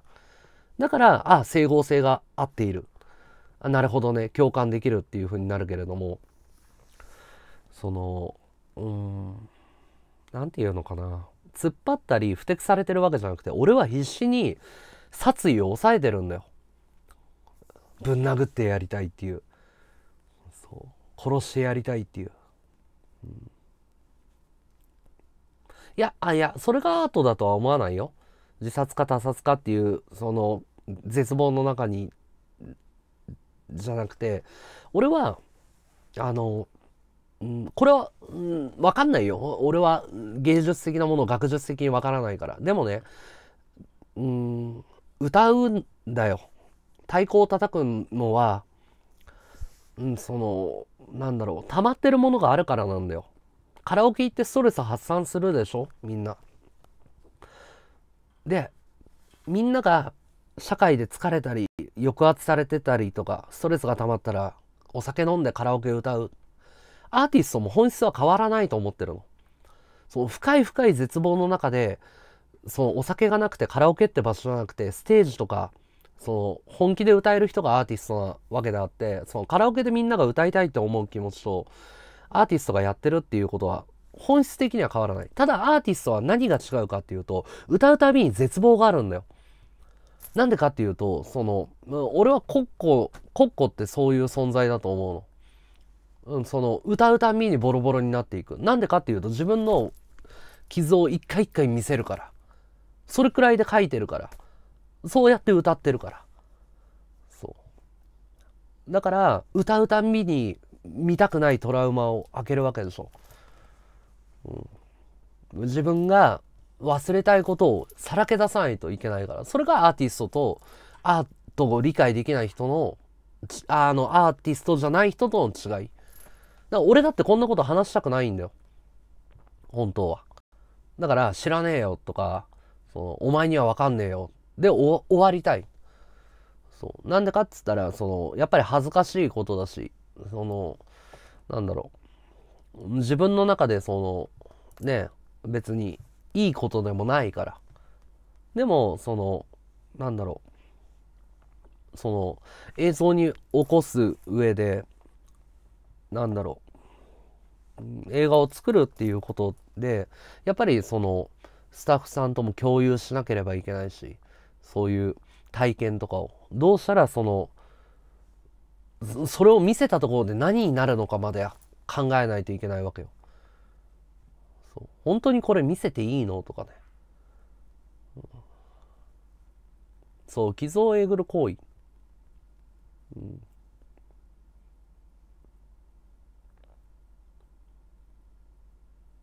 だからその何て言うのかな。うん。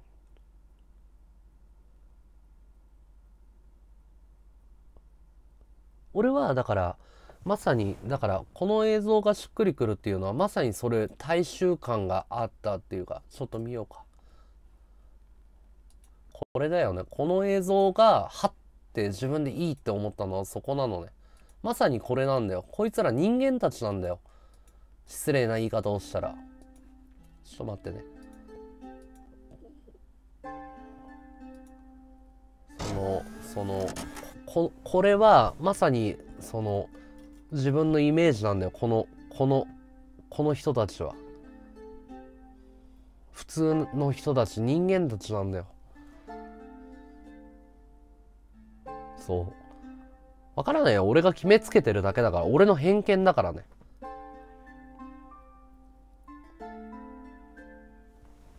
わからない。俺は申し訳ないけれども申し訳ないけれどもこのこの人たちが自分のやってることを理解してるとは俺は到底思えない。何のためになどう考えてやってるな何の仕事をしてるのかを理解してる人たちは俺はいないと思ってる。あの映像に映った人間。もう偏見だよ。偏見だけど申し訳ないけれどもねお仕事何ですか？って。保険のなんか代理店の営業です。それをしたところで何のためにそれをやってるんですかって。多くの人がいや生活のためって本でそれをいや違う違うって言い聞かせてる。嘘ついてる人間に見えるの。俺はなんで映像を撮ってるかっつったら明確に言える。共感してほしい。感じてほしい。自分と同じ苦しみを持ってる人を救いたい。共感してあ同じ人間がいたって思ってもらいたいとか。で俺は絵が描けない。だからカメラでやるんだとか。全部言える。いくらでも言える。でもあいつらは言えない。人間だから。考えることを放棄したから。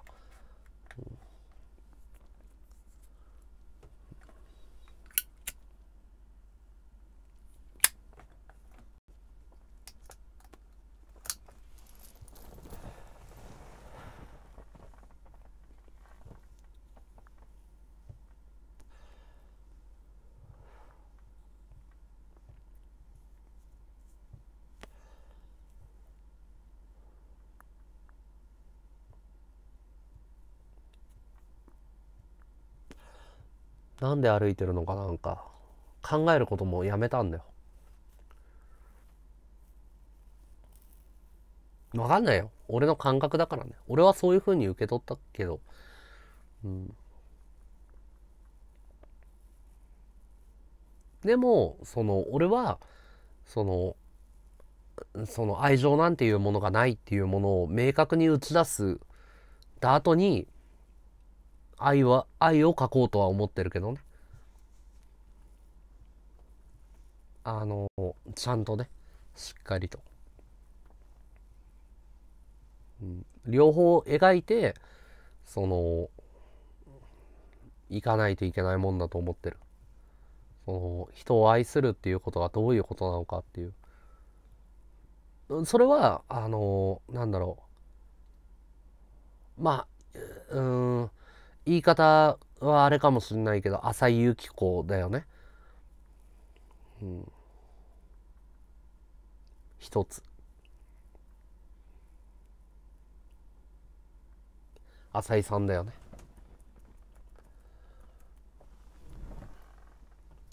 浅井さんの話をあの映像に今教えてもらってる人に話したらアドラーの心理学を実践してる人ですねって言ってた。要は、俺はアドラーの心理学をちゃんと読んでないんだけど、その人は理解をしていて。で、アドラーの心理学ってどういうことなんですかって。一言で言うと、今、や、やりたいと思ったこと、やるべきだと思ったら、それをやりたいとかやるべきだじゃなくて、心が動いた瞬間に行動に起こすべきだっていうのがアドラーの心理学。今をその瞬間を生きる。悩まない考えないやるべきことをひたすら毎日毎瞬間だけをやっていく。ホームレスを見つけたらご飯食ってるか？って聞いて今持ってくるからな？っていうのを浅井さんはやってるんだよ。それが正しいとか悪いとかじゃない、うん、そうすべきだと思ったから善悪ですら動いてないって瞬間しか生きてないっていう。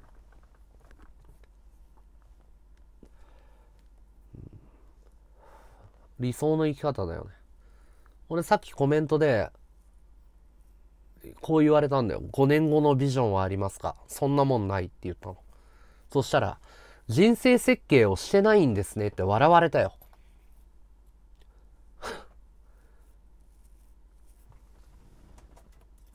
お、さっきコメントあったでしょ。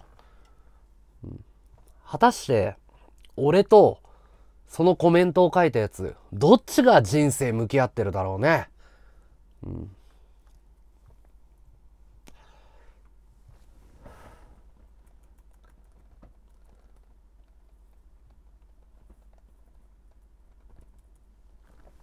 俺は考え抜いた上にね考えないっていうことを選択してんの。そいつの言ってる人生設計っていうのはおそらく貯金してますか？とか。仕事がどうとかそういうものすごくくだらないことなんだよものすごくくだらないことで俺に問題提起をしたんだよお前よりはるかに考えてるわ悪いけどねそういうものに対する怒りとかがあるんだよ、俺は。薄っぺらい。そう、そういうこと。ありがとう、メトロ。そういうことね。それが本当の愛。要は神様の域にいるの。アガベーだよ。あのキリスト教でいうところのアガベー。神様にしか手に入らない愛。でも、その、言い方は変かもしれないけど、浅井さんがその神的な要素を持ってるのは、浅井さんは光が見えたからって言うんだけど不思議だよねあの失礼な言い方になるかもしれないけど俺は知的障害が伴っているっていうことが関係してると思ってるの。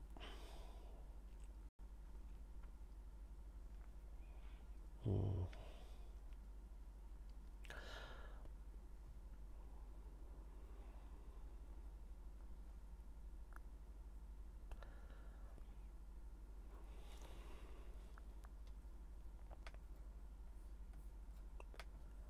まあだから障害もテーマの一つだよね。自分の中でね、うん、本当に障害なのかなっていう。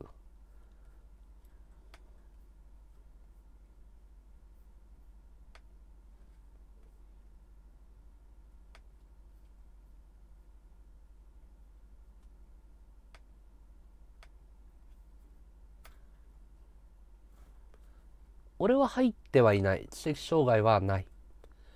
と俺は思ってるけどね。心が歪んでるだけです僕は。多分。心がとても歪んでるんです。はい。うん、うん、要はね人間たちは異物を排除しようとするのね、うん、異物。平均的でないものをコミュニティから弾き出そうっていう。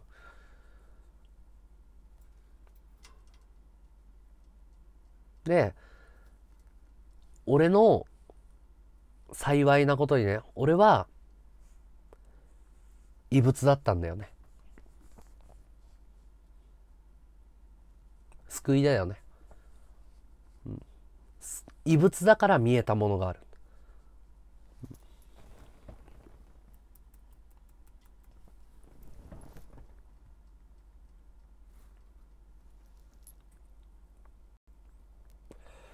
規格外品っていうのかな。要は製品にならなかったものだよね。欠陥品だよね。要はパンクスだよ。要はパンク。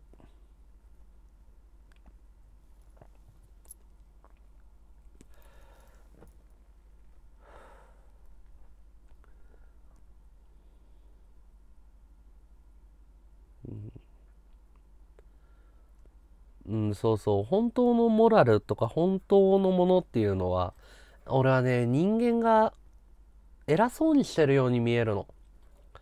地球温暖化とか言ってんの。地球を汚してるっていうのよ。人間が。人間は。オゾン層が壊れちゃうとか。あのね、はっきり言うよ。あのね、に世界中にある核弾頭を人間が作った最高のエネルギーだよね。最高の兵器だよね。核弾頭で人類は滅ぼせる。地球の表面を焼き尽くすことはできるの。だけどおそらくなんだけど地球上の生物を一回死滅させたところで多分50億年とか100億年とかかけたら地球は蘇るんだよ。海の中の生物がまた陸に上がって別の環境下で地球の方が俺ははるかに偉いと思ってるの。オゾン層がとか言ってるけど実はもう回復してるのね。一瞬だけフロンガスとかでその薄い膜が壊れちゃうけど実は回復してきてる。だからね結局人間の物差しで地球を測って人間が偉そうに振る舞ってるように見えるの。傲慢だよね。うん。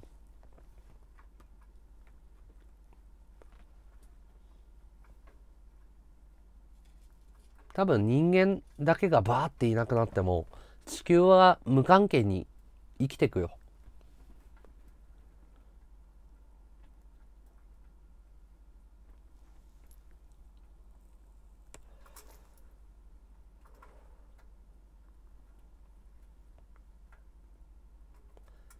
で地球がなくなったとしてもこの宇宙には多分無関係に動いていって無関係に生きていくよ。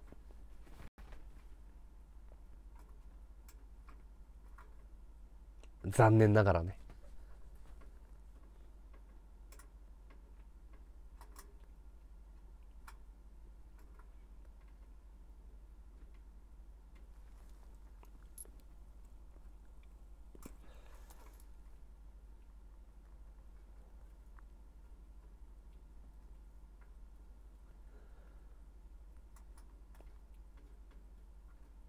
俺が嫌いなのはね教えてやるよっていう態度。で成功した人っていうのかな。うん成功っていう言葉もあんま好きじゃないな。俺が好きな人たちは俺が尊敬する人たちはそういう態度を取らないんだよね、うん、ちなみに浅井さんを撮影するまでに2年かかってるからね。浅井さんカメラ浅井さんを回したいんだって言ってね、うん。うん、浅井さんにカメラ向けて許可が出るまで浅井さんが撮りたい。って和く君ずっと回していいよって言ってくれる前に2年かかったね、まあ、今はもうダメだけど浅井さん自身が言った言葉は今でも忘れないよね。私はここにいるべき人じゃなかったって。ネットのことを指す言葉なんだけど私はあのここにいるべき人間じゃなかったって言ってネットから去ったのね浅井さんは。神がかってるよね。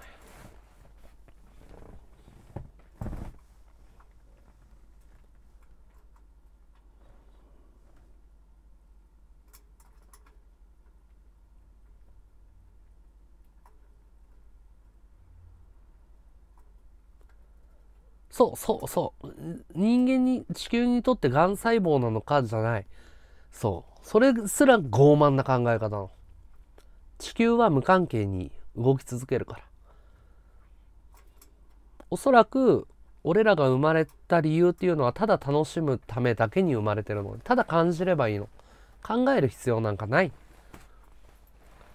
だから女の子と好きな女の子と一緒に男だったらね好きな可愛い女の子と一緒に手つなぎながら夜空を見たり綺麗だねって言ったりとか。うん、素敵な彼氏と一緒に美味しいものを食べて美味しいねって。それだけでいいんだ本当は。子供ができて可愛いねって。楽しいねって。それそれはだから最後言った絶望の対比として愛を描きたいっていうのはそういうことだよね。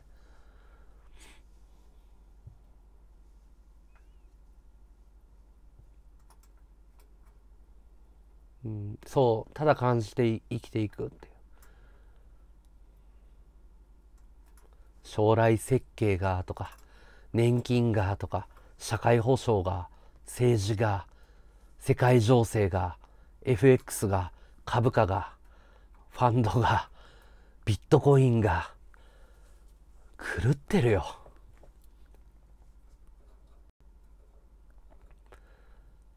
狂気だよ。怖いよ。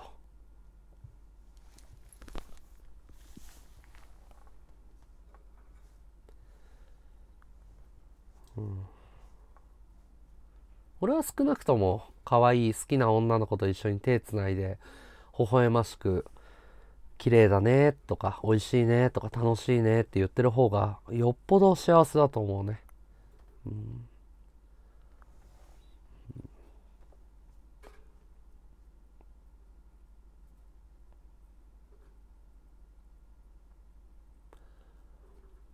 おそらくなんだけどこれはポジティブな意味で捉えてるんだけど人間に価値はない。俺らに価値なんてものはない。俺らがないのにあるんだあるんだって言い続けてるからこんなことになってる。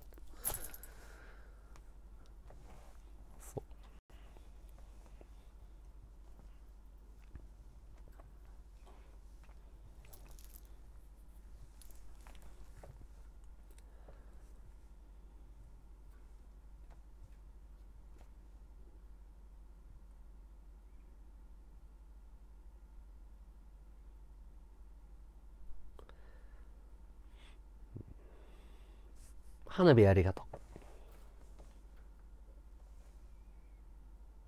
う。もちろんその実践できてるかっていう部分はその毎日そのの課題なのね。そのうんなんて言えばいいのかな言葉にしづらいんだけど、うん、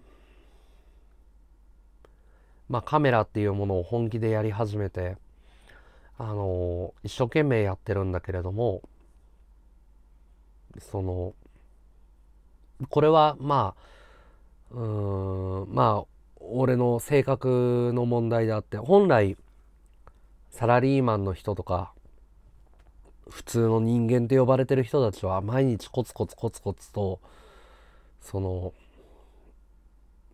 積み重ねていけばいい作品が作れるっていうふうに愚かだから感じ考えているんだろうけどあの撮りたい時に撮るものだと俺は思っているの。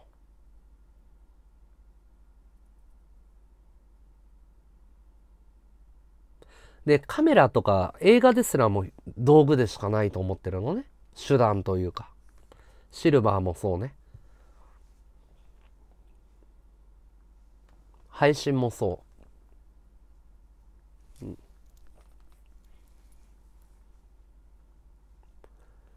そのだから俺の中には強烈な破壊願望が常にあるのよ。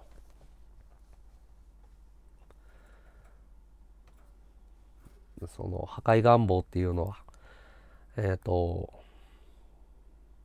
お前らの言うことは聞かないよっていうことね、うん、お前らの言うことは聞かないよって、うん。うん、誰にも縛られたくないよっていうね。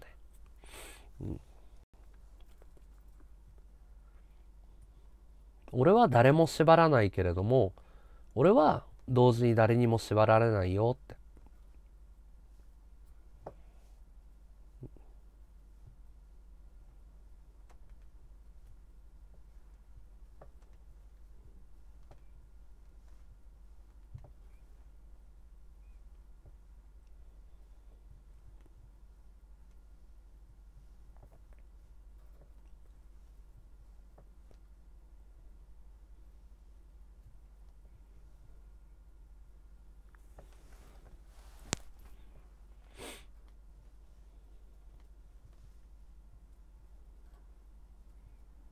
いいのよ。あと、その、配信も映像もシルバーも、うん、これは、その投げやりとか、あれ？花火5発 ?6 発ももらってる俺。え？誰がくれたの ?5 発。あ、今くれ、今来たのか。ありがとう。あ、びっくりした。なんか、先にエフェクトの前に来てたから、ありがとうございます、花火。えっ、ー、と、なんて言えばいいのかな。ありがとう。グレート花火ありがとう。たくさんありがとう。あのね、なんだろう。な何の話をしようとしたんだっけな。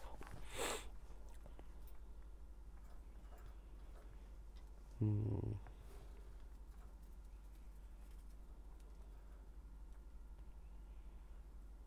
うん。うん。映像とかシルバーとか配信とか全てまあまあ俺は生きることだと思った仕事じゃなくて生きてく理由だよね。もですらもあの何て言うのかな。才能がなかったらやめるんだよ。でしょ？楽しくなかったらやめるんだよ。配信もシルバーも映画も。で俺はあの作れる自信があるの。才能があるから。うん。申し訳ないけど。だからシルバーもできるんだよ。才能があるから。配信もおそらくずっとやるんだよ。俺が飽きるまで。才能があるから。映画もできるでしょう。才能があるから。で才能がもし仮になんだけどなかったらただできなくて死んでいくだけなの。作りたい作りたいって言いながら。ただそれだけのことだと思ってるから。だって誰も花火な投げなければ俺は配信できないんだから。でしょ？金が集まんなかったらシルバーお客さんがいなかったらシルバーできないんだから。でしょ？どこにも需要がなかったら資金が集まらなかったら映画は頓挫するんだから。でしょ？ただそれだけなんだよ。でそこに悩みなんてないの。俺は自分の才能を信じてるだけなの。俺の映画がどうしても見たいってみんな思うはずだし俺のシルバーをみんなが買いたいって思うはずだし俺の配信を見たいっていう人は永遠といなくならないしっていう。なんでかって。俺には才能があるから。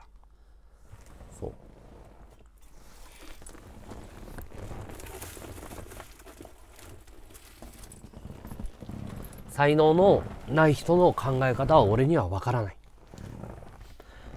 なんでかっていうとないものは分からないから。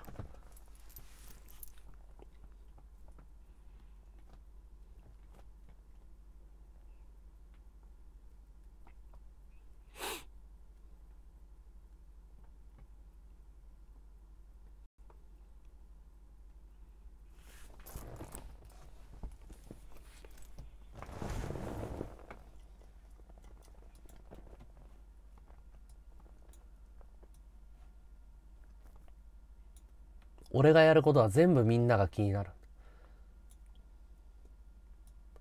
オワコンだ。くだらねえ。面白くねえ。でも蓋を開けてみてよ。弾丸塾どうなったんですか？弾丸塾どうなったんですか？って。みんな聞くでしょ。俺の勝ちだよ。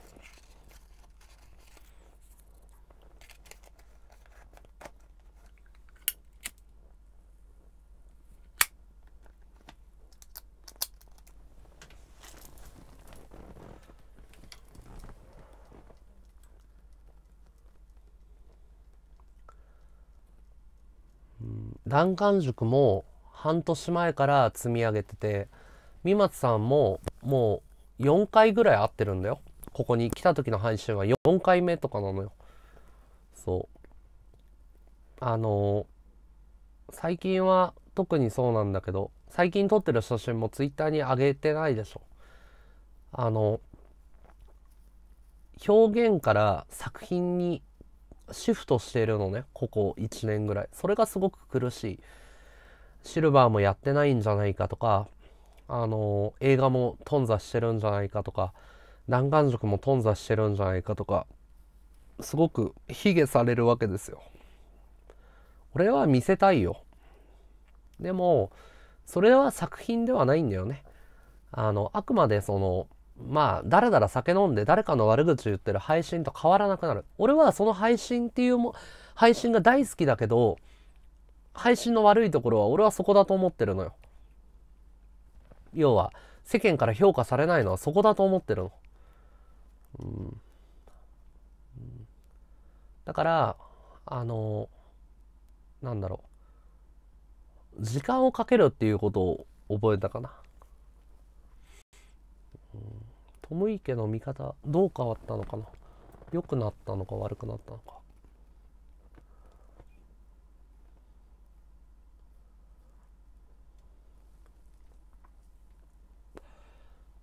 誰もやってないことをやりたいよね。誰かがやってることは誰かがやってることをパクるやつはかっこ悪いやつだと思ってるから俺は。誰かがやって数字が取れるからって真似をするってダサいじゃん。そうじゃなくて誰もやってないことを一番最初にやるっていうことが大事だと思ってて失敗しても成功しても。要は失敗する危険があったとしてもそこにトライするっていう。でパクるやつのあの心理はわかるんだよ。うまくいったから俺もやったらうまくいくに違いないって要は安牌取ってんの。リスクを取らなくなってんの。誰かの真似をしたら誰かに責任を押し付けられるから。でもねオリジナルの強さよやっぱり。先駆者の強さっていうのがある。失敗する可能性の方が高いけれども当たった時の破壊力はやっぱりそのなんだろう仕掛けたやつが勝つっていうのは分かってるから俺は新しいことどんどんやっていくよ、まあ、シルバーも映画もそうだと思ってて。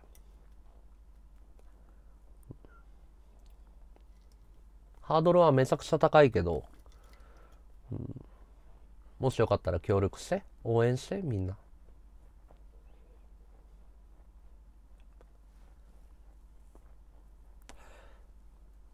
まあ逆に応援してない人にじゃあ問いかけるなら映画ができた時に俺は応援してたとか死んでも抜かすなよ、うん、俺が捨て頃で勝った時に頑張ったねとかおめでとうとか抜かすなよ、うん、俺はそういう人間が大っ嫌いだから。か勝ち馬にだけ乗るような人間は大っ嫌いだから。捨て頃で勝った時に「おめでとう応援してたよ」とか花火投げるやつ全員ブロックしてやっかんな。覚悟しとけよ。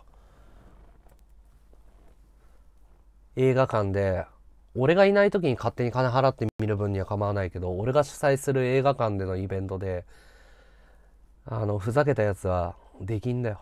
見にこ見れるわけねえかんな。覚悟しとけよ。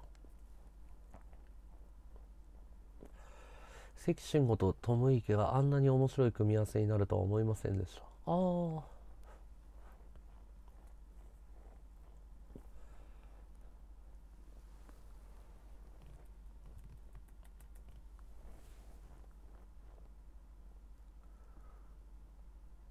俺は自己都合で考え方コロコロ変えるやつ自分を持ってないやつ大嫌いだから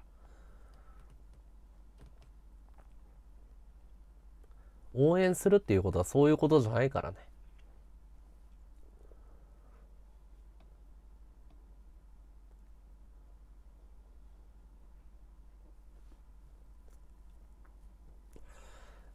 勝つか負けるか分かんないことでさ新しいことにトライしてる人に結果が出たから応援してましたっていう後出しじゃんけんをしてくるやつは俺は付き合いたくない。そうじゃなくてコツコツコツコツずっと頑張れ頑張れって言ってくれた人が応援してくれる人であって俺はその人となんだろう一緒に達成感を味わいたくて共感したくて一緒に泣きたかったり笑いたかったり喜びたかったりするの。喜んでるところだけ甘い蜜吸おうとしてくるやつは俺大っ嫌いだ人間じゃねえよそんなもん。そういう手のひら返す人間は大嫌いなんだよ俺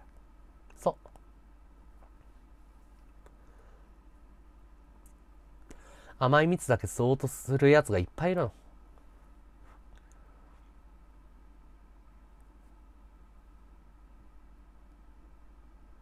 でも人を応援するってそういうことじゃないからね。いや、勘違いするなよって。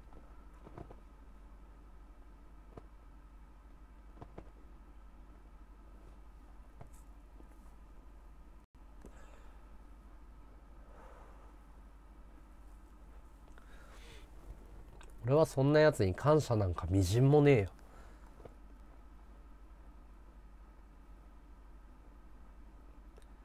好感度上げる気なんてさらさらねえよ。俺はその仲間たちと一緒にやりたいことやってるだけなんだから。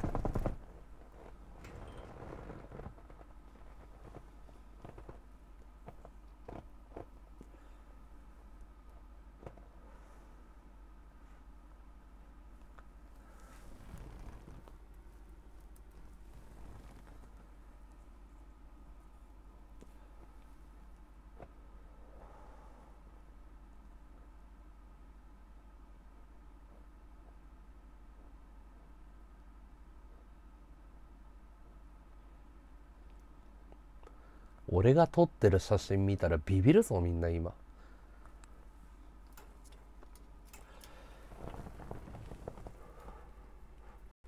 はっきり言ってカメラでマウント取ってきたやつより誰よりもうまい自信があるよ俺は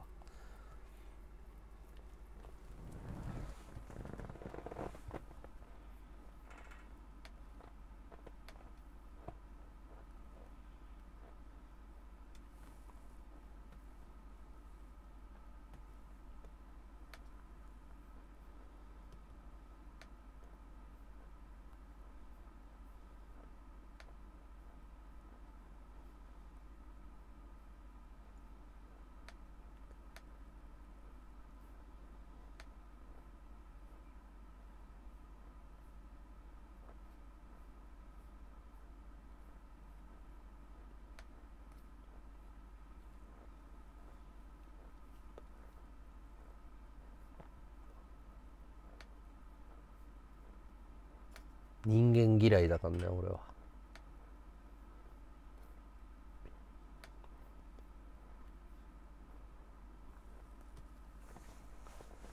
自分の都合で簡単にフォローして簡単にブロックする人たちとは付き合いたくない。勝手に懐いて勝手に囲って勝手に離れていけばいい。関わりたくない。応援してくれてる人に失礼だよ。芸能人と企画も進行形の映像修行もプランも終作も一般公開しないで無言でやってるのつらかったろうな。辛いよ。たくさんあるよ。言えないこと。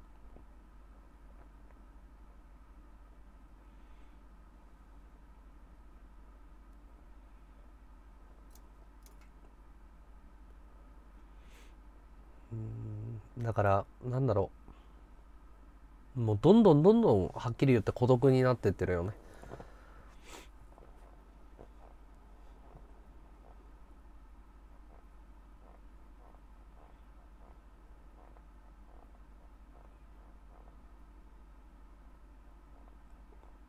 本当に。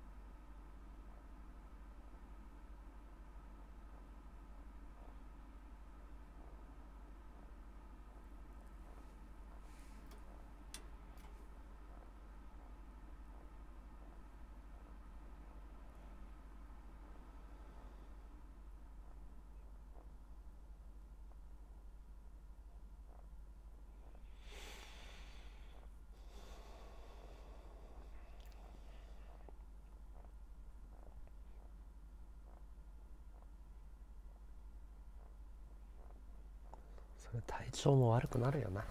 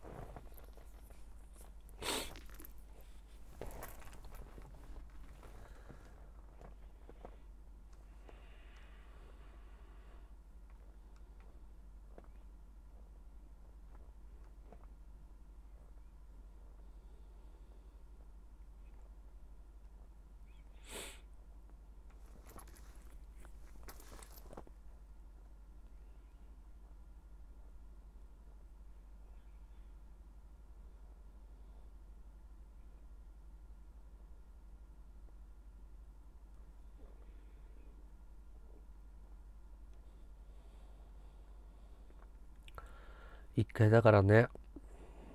血便出たじゃないよ。血便垂れ流してるよ。1週間に1回は出るよ。吐血もするわ。一番ひどい時は。2ヶ月に1回ぐらい吐血するよ。朝起きてベッてやると血が混ざってんだよ。ののりこは知ってるよね？唯一ね。うわーっていう。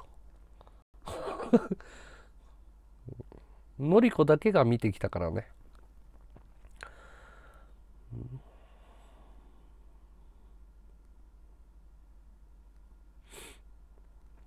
けたなって老けたなって思うもんこの半年ぐらい。でも今も全然体調悪いよ、うん、本当に温泉行きたいよ。あの1週間シルバーも映画も配信も何もかも全部投げ捨ててなんかこう無になりたいよね本当にね。本当にだからこうなんだろう。だからもうほんとねあれだよ。魔女の宅急便だよ。ウルスラってどうやって絵描いたんだっけ？って本当思うよね。いや魔女の宅急便見ないとって思ってるよ本当に。飛べないって。お園さんが必要だよね今俺には、うん、お園さんとウルスラが必要だよ。あとトンボ。熱を出して飛べなくなった危機みたいなもんだから今。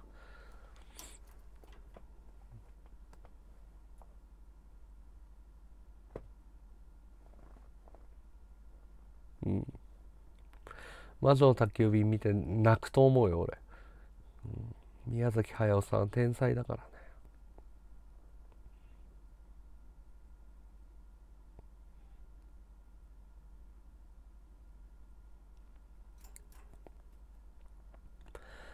でもあれ素敵だよね。あの大好きな男の子のためだけに魔法を取り戻すってかっこよくない？すげえかっこいい設定じゃない？その好きな男の子のためだけに魔法を取り戻すんだよ。めちゃくちゃかっこいいよね。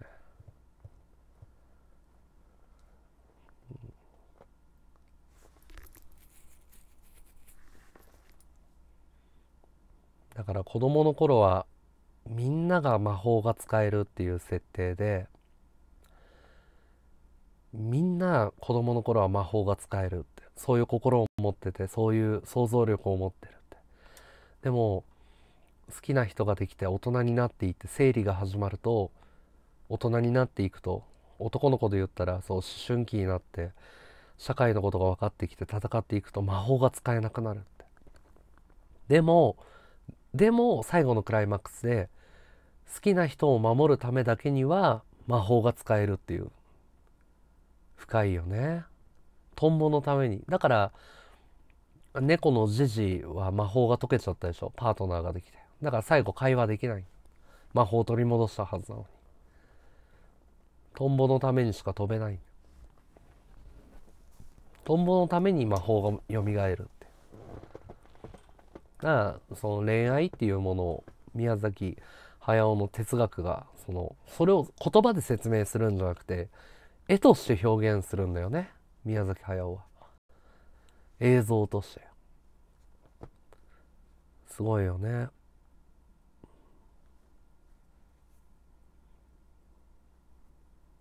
うん。いやだからあのシーンよ。おじさんそれ貸してって言ってブラシを持ってこうやってやる機器はグーって言ってこうフーっていうシーンは。そそのリアリティがあるから俺は。その宮崎駿が何を込めて書いてるか分かるから。グワーって鳥肌立つよね。書けなくなった危機が魔法取り戻すぞっていうこうグーって言ってバサッって言ってそのブラシが毛羽立ってグーって。言うこと聞かない感じもいいじゃん。グラグラグラグラしてるわけじゃん。危機の心が。もうコントロールできないわけよ。それをあの絵で表現する。危機の心を動きで表現するんだよ。制御が効かなくてグーってスピードで街だけグラーって言うこと聞いてっていうそのかっこよさよ。でグラグラグラグラ制御が効かないねもうぶっ飛んじゃってるキキの魔法だよね。要は恋愛だよねあれ。恋心を書いてるのよ。キキのトンボが好きすぎてそのコントロールできない恋愛感情を飛ぶっていうことで書き切ってるわけじゃん。かっこいいよね。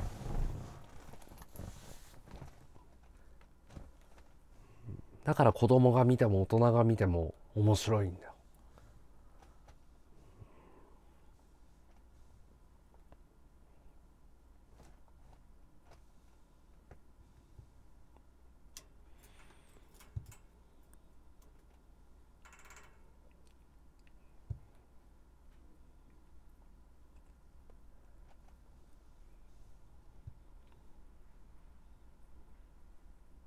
うん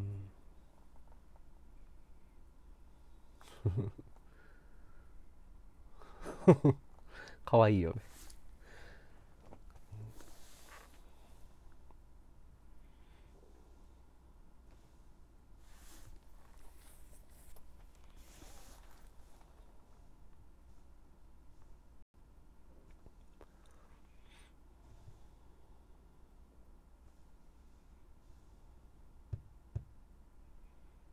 でもそのだからお園さんは要はね魔女と絵描きとか魔女って何のメタファーかっていうと俺が考えるにあれはアーティストのことなんだよ。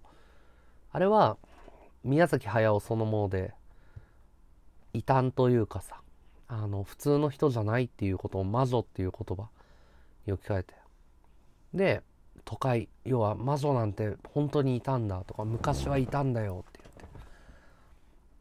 だからお園さんは支えてる人だよね、うん、普通なんだけど受けだから危機にはお園さんみたいな人が必要だったんだよね、うん。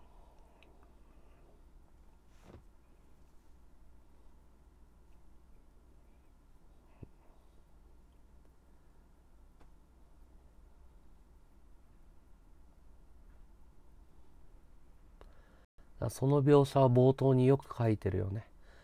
あの迫害されていくというか居場所がなくなっていく描写っていうのから始まるじゃん。その魔女が夢見てこうあれはだから魔女がその海の見える町に住むっていうのはあれは状況なんだよ。田舎の絵描きの女の子が上京してさ夢を持ってさで最初受け入れてもらえなくてでもだんだんと受け入れてもらえるようになって。で描けなくなるんだよね。絵が。要は魔法が使えなくなるっていうね。まあ絵なのか歌なのか配信なのか仕事なのかそれは見る人によって変わるんだろうけど。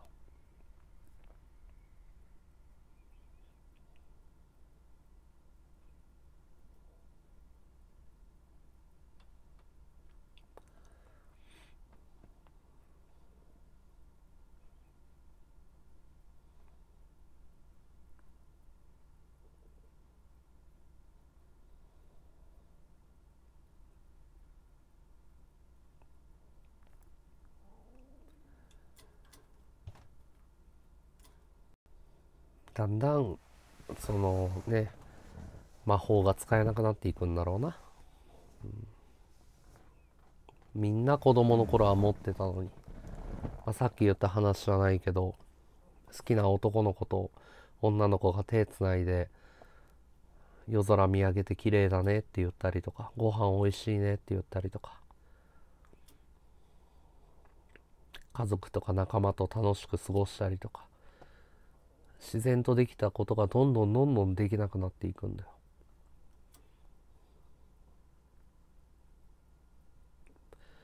理由がないと動けなくなっていくんだろうな。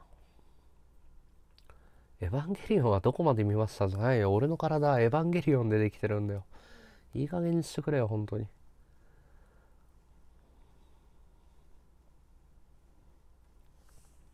どこまでもじゃなくて、まあさっきもその話をしたんだけどあのシンジ君の気持ちがすごくわかるっていう話をしたの。それは何でかっていうと、その、あれはエヴァンゲリオンじゃないから。今作ってるやつも、上波級で新エヴァンゲリオンっていうのは、あれはエヴァンゲリオンじゃないのね。あれは庵野さんの作品ではないから。なんかあくまで俺は、その好きなエヴァンゲリオンっていうのは、庵野秀明が作ったエヴァンゲリオンだから。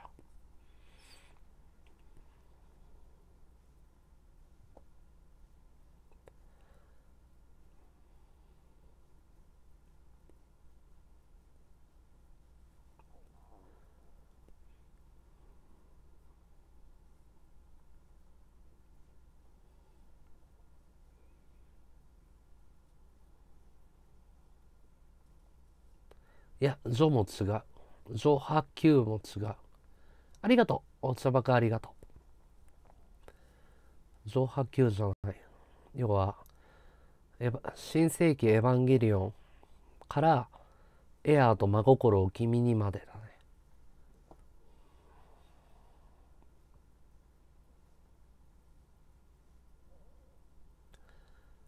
うんと最終話が2つあるからね。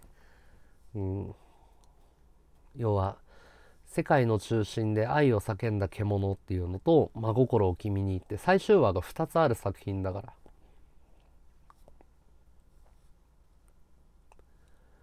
真心を君にはすごいよなあれは、うん。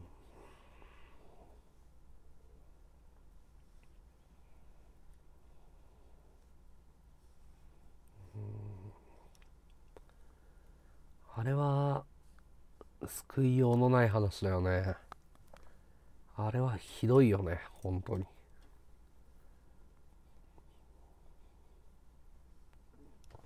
うん良かったというかとんでもねえことやったなって思うよね。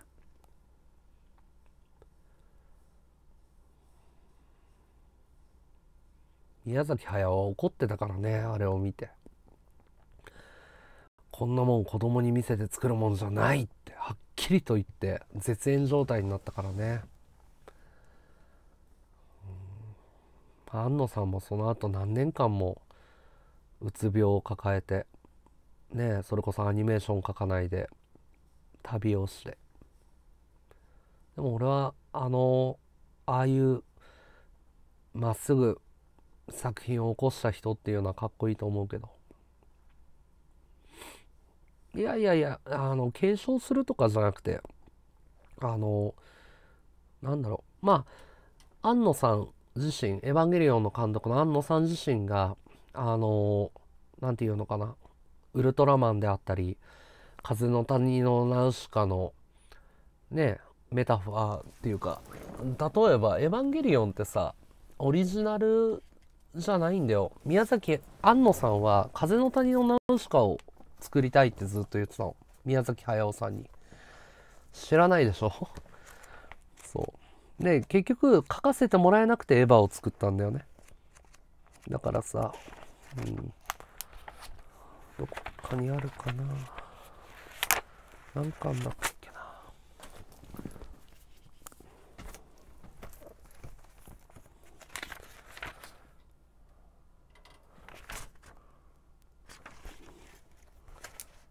もうエヴァでしょ。わかるでしょ。エヴァでしょ、う、大間、うん、宮崎駿さんのね。そう。これを作りたかったんだ。安野さんは。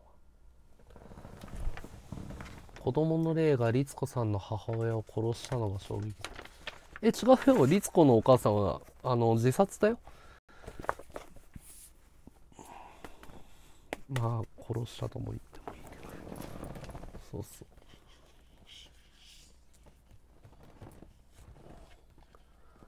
まあ、宮崎駿さんが亡くなったらスタジオジブリも終わるんだろうな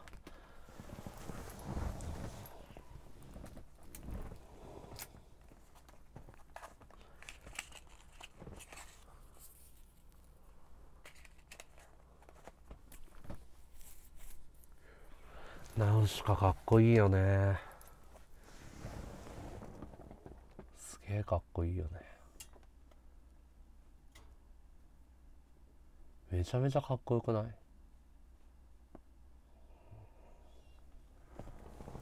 すごいよね。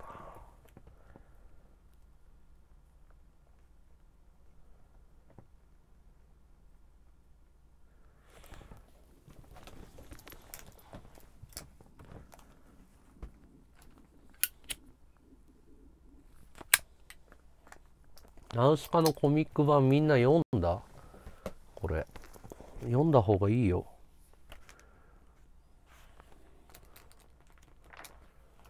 すげえかっこいいよ。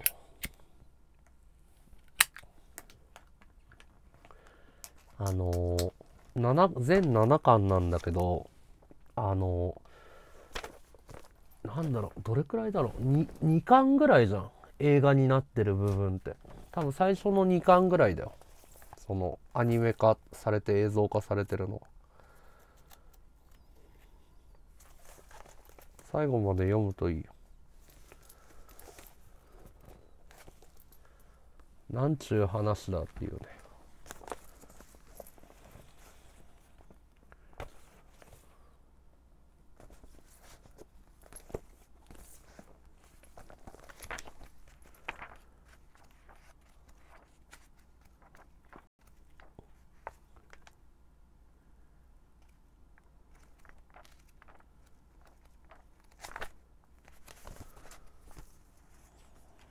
いいかける人はいいな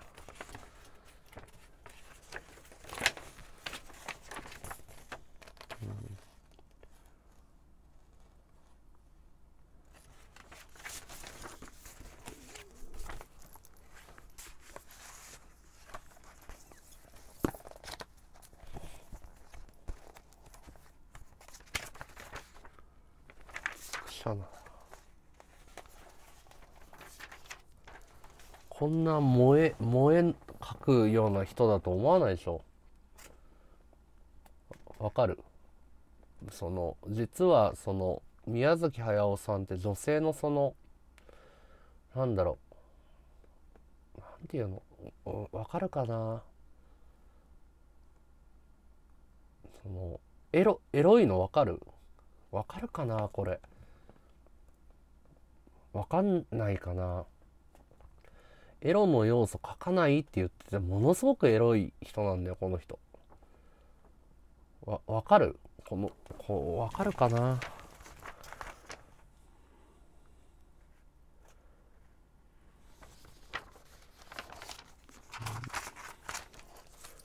伝わる？このエロさっていうかさその女性女性のその、うん、女性をよく観察してるというか。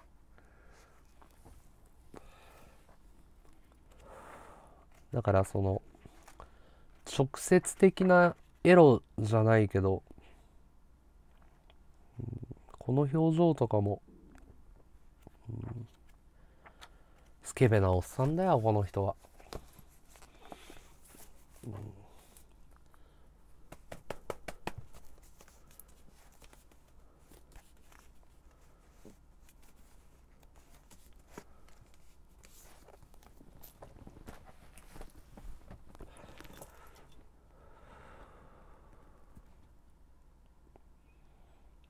写真もなんかそういうあのなんだっけ芸術か芸術じゃないか要はアートかアートじゃないか勃起するか勃起しないかみたいな話があって。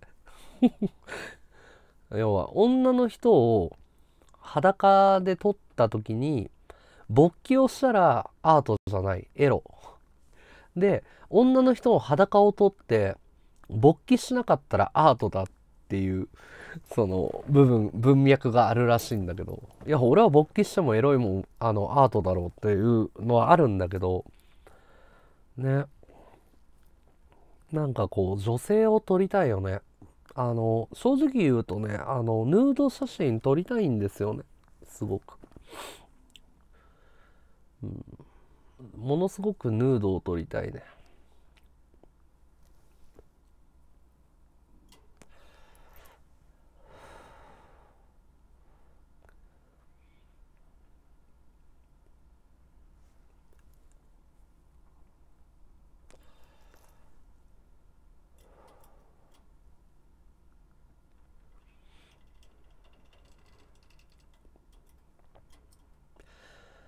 なんかそのヌード写真を撮ることってさ多分セックスよりエロくない？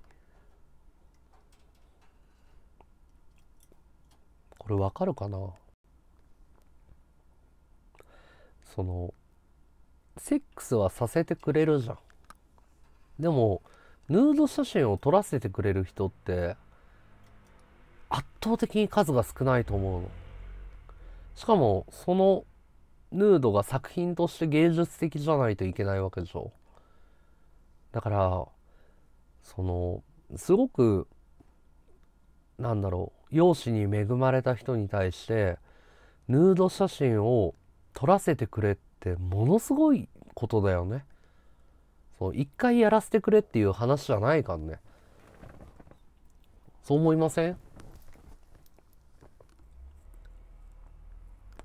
もう本当にその芸術として信頼関係がないとできないことだと思うんだよ。うん、花火ありがとう。うん。まあ、ヌードを撮れたら多分すごい興奮するだろうなっていう。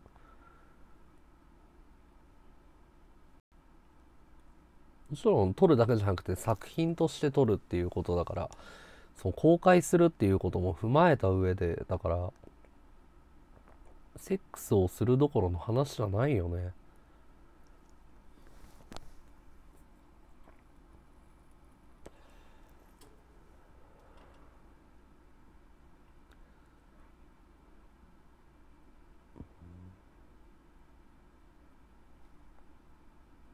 いや、男性も含めて俺は言ってるよ。ヌード写真撮りたいっていうのは冗談じゃなくて。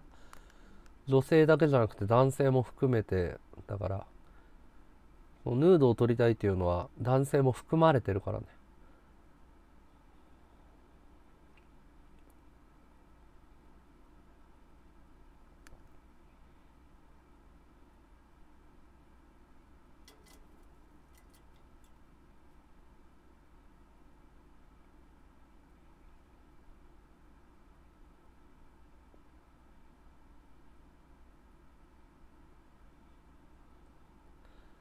あ、でもね、そういうことだよ。あの、ああ、すごいこと言うね。あれは、そういうことだよ。うん。あの、素晴らしい。あの、そういうこと。本来ね、だから、俺が AV に対する嫌悪感っていうのはそこなんだよ。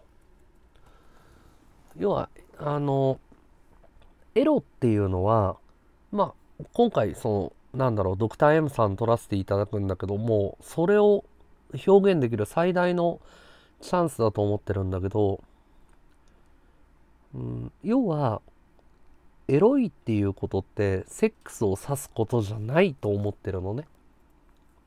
あの、裸になるからエロいわけじゃなくて、その、なんていうのかな、タバコを吸ってる、ご飯を食べてるとか、でもエロってあると思うの。だからそういう意味でそのここれにエロがあるの分かる。エロくないっていうことよ。宮崎駿がエロいっていうことを言ったんだけどつながったね。うん。その何なんだろうな。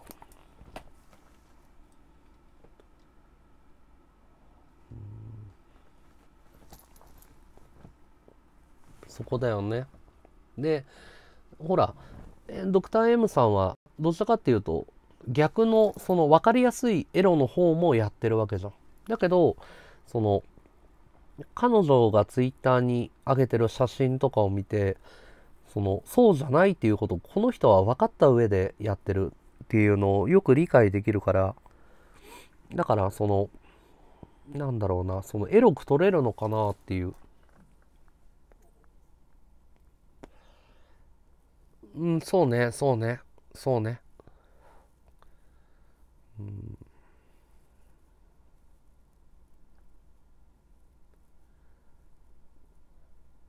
要は、ポルノかどうかってことかな、俺が言いたいの。エロいっていうこととポルノかどうかっていうのは別だよっていう。そう、勃起するか勃起しないかっていう。うん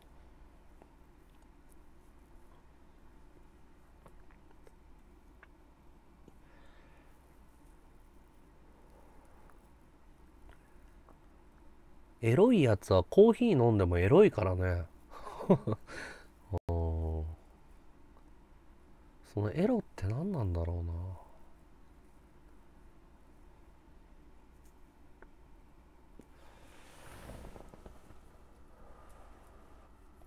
ああまあだから言うなればセックスなんか誰とでもできるわけじゃん。まあ女の人だったらよくわかると思うんだけどセックスなんて誰とでもできるんだよ。でも、うん、その官能的なセックスは誰とでもできないんだよね。だからその官能的かどうかっていうのが俺はエロいかどうかだと思うかな。うん。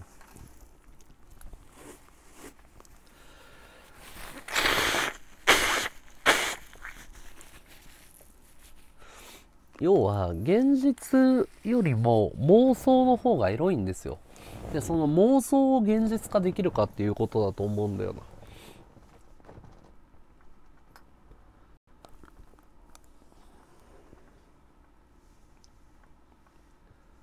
そうそうそうそうそう。要は官能的なセックスって現実世界ではなくてそう2人だけの世界にもう脳内で フュージョンセックスっていうのかな。その脳内麻薬が出過ぎててドロドロに溶けてる状態のことを指すわけじゃん。そういう状態を作れるのかっていう。でねそういうセックスができるかっていうのは単に可愛くておっぱいでかくてスタイルいいお姉ちゃんとやればいいっていう問題じゃなくてその脳脳とか心とかまあ同じだけど脳を使ってそのセックスができるかどうかっていうことだから IQ が高くないとできないよね。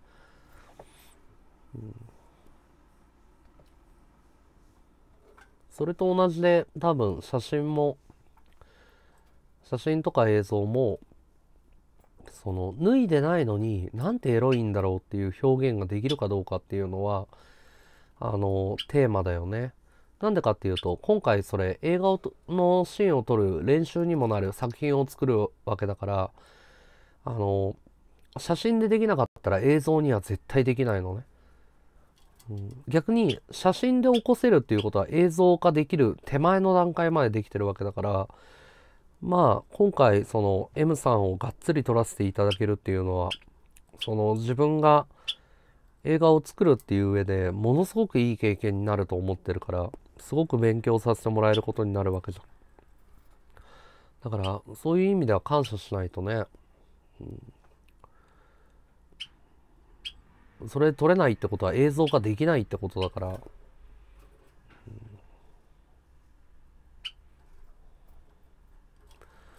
で今回はねもうわがままに行こうと思っててすごく気合が入ってるんだよね。その M さんのファンに向けて作るわけなの。今回俺が M さんはすごく300人とかさそのエロスを求めてる男性の方だと思うんだけどのファンがいると。でその自分が写真を撮らせていただいた時にまあその変な言い方をするのであれば和道が撮った方が M さんさらにエロいじゃんって言わせたら勝ちだと思ってるの。わかるかな？その M さんはカメラもやってその M さんはエロっていう表現をやってるわけよ。ギリギリのところまで。で、そこでファンが、固定のファンがいるっていう。で、そこに対して、どういう、その、何て言うのかな、別の角度から、M さんのファンをこう喜ばせることができるのかっていう。うん、でそれがでできないっていうことは結局被写体に負けてるわけじゃん。それは結局 M さんが綺麗だったっていう話になっちゃうから。うん、だからそれはあのカメラを撮る資格がないってことだから、うん。取らせてもらう資格がないっていうことだから自分が納得できなかったらもうそれで負けだよね本当に。カメラやめちまえって話だから。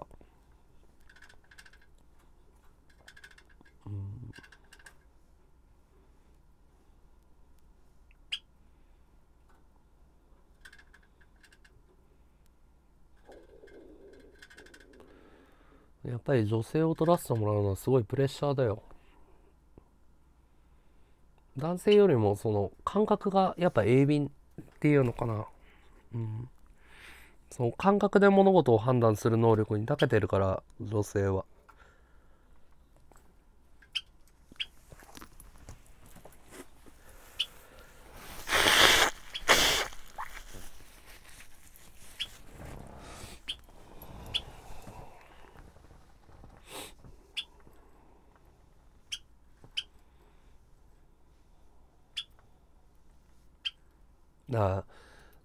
M3 という被写体プラスその俺がいかにスケベかっていうのが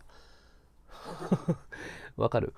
そう俺の方俺もスケベだからねっていうのを写真にいかに出せるかなと思ってて。ででもそれはあの写真作品に起こした段階で俺は消えるわけじゃん。M さんやろってなってほしいって。いや、あのね、そこはね、現場で判断しようと思ってるんだけど、それをもちろんヒアリングして、俺はね、あの、ブラジャーをつけてほしいんだよね。あの、実を言うと。あの、そこが最大のテーマだと思っていて。あの、っていうよりもね、あの、下手したら、あの、脱がせないよね。セクシーな衣装を取っ払うっていうか、あの、M さんにまず、一個だけお願いしたのが、あの、ジーパン買ってくれって言ったの。ジーパン持ってますかつって、持ってないって言って。安いのでいいから、パンツ買ってほしいって言って。で、分かったって言ってくれて。で、M さんから逆にメガネを用意してほしいって言われて。それはまあ M さんの戦略があるんだろうけど、まあ M さんもカメラマンだから俺を撮るから、M さんも同じ、同じ気持ちで今いると思うのよ。そこは、お互いそのカメラをやってるっていうのでそのいい意味で刺激をし合ってるのね。そう。要はねあの俺がトライしたいことって M さんは責められる人なのよ。あの自分自己ブランディングができる人だからそう自分をどうエロく見せるのかっていう。要は脱ぐ度胸があるわけよ。はっきり言って。だけど俺は脱がなくても綺麗だよっていうことを言いたいの。脱がなくてもあなたはセクシーだよって。十分。で要は脱がなくてエロっていうのは多分その M さんのファンからすると衝撃的だと思うのよ。そこが最大のテーマかな、うん、脱がなくてもこんなにエロいんだこの人っていう。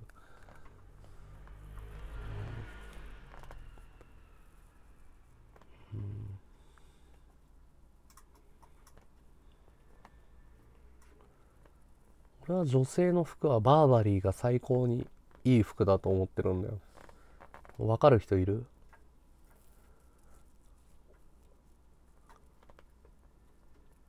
バーバリーの服は最高だよね。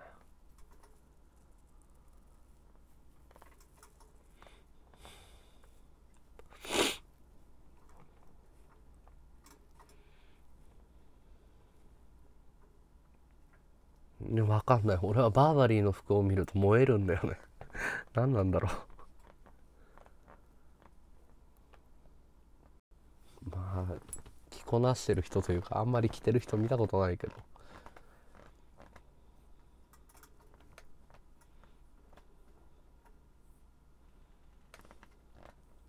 わからん。トラディショナルが何なのかわかんないけど。でもなんかこううん俺はその M さんはすごくいいなと思ってなんでかっていうとそのビジュアル的にその綺麗な人だなっていうのを個人的にずっと思ってた人だからあのなんだろう。うん。いいこれ以上ない条件でこれ以上ないタイミングで撮らせてもらえるからここでダメだったらもうダメだな。これで M さんを自分が納得いく形で撮れなかったらやばいね。うん。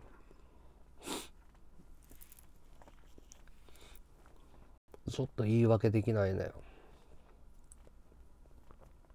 もちろんお互い配信者だからお互いツイッターに上げるのが前提で撮るわけだし作品を上げないっていう選択肢ってもう試合放棄でね捨て頃の会場に出なかったみたいな話だからそれは絶対できないし、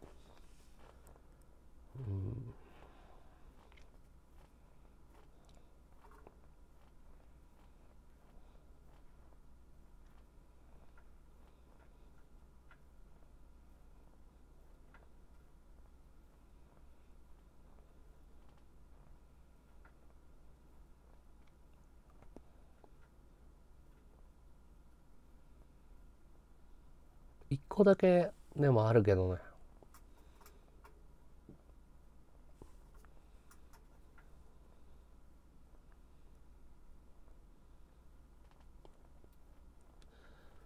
切り札が。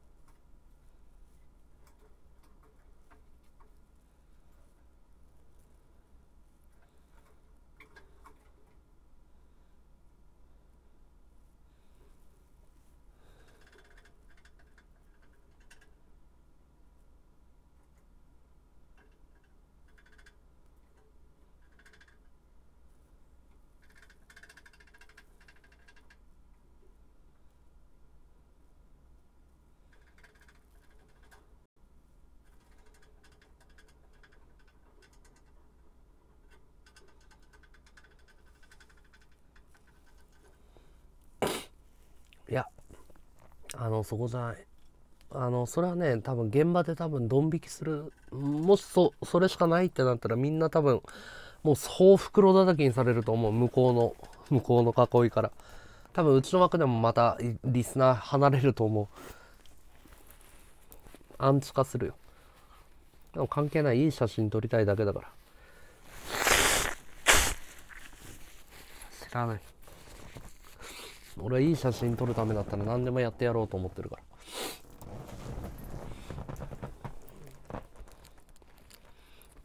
関係ねえよ。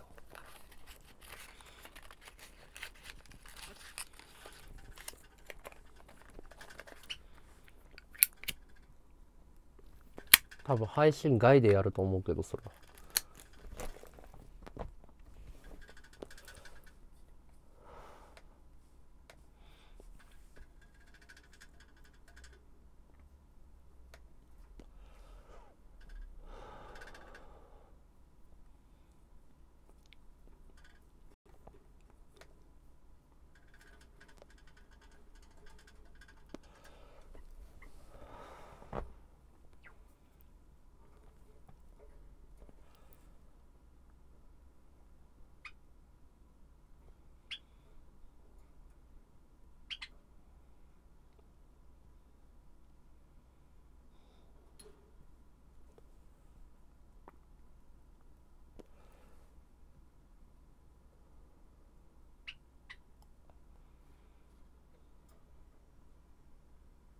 いやパンクじゃない。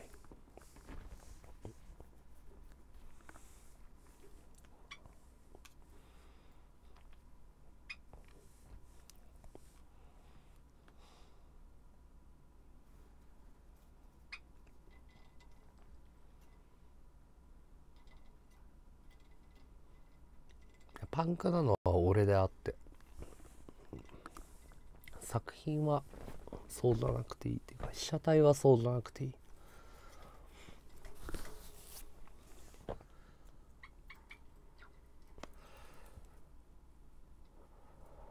被写体がパンクである必要はないから。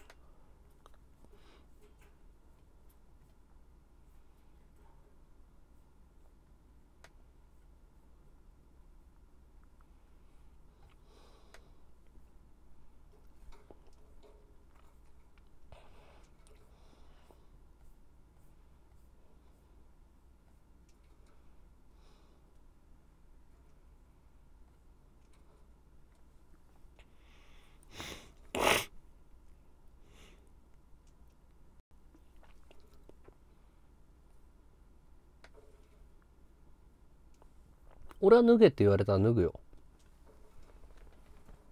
即答で。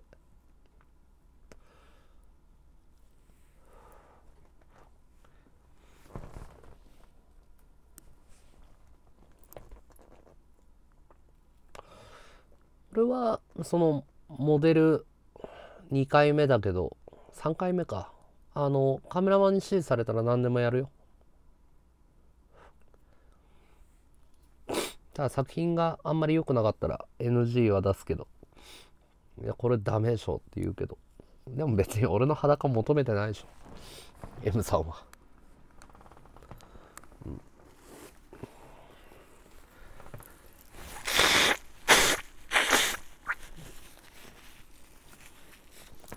脱ぐのは別に何とも思ってないから。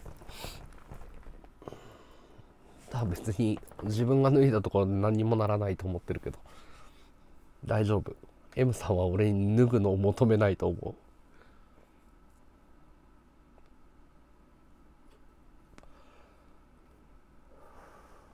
それはそれだけはわかる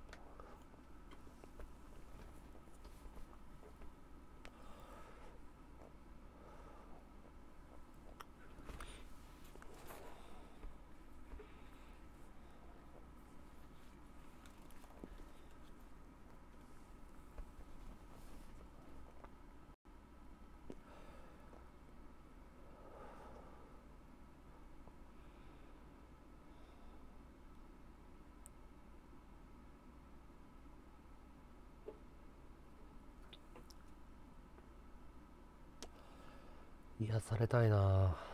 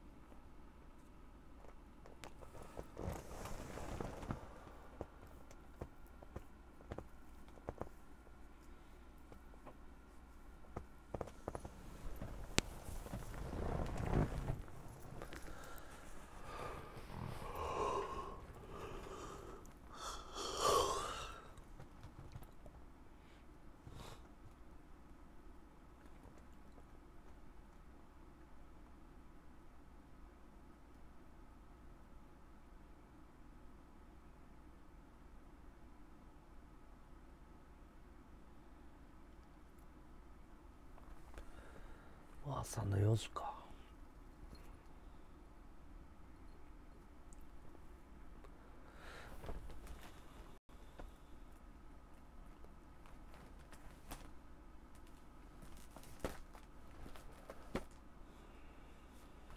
なんで最終はトルメキア？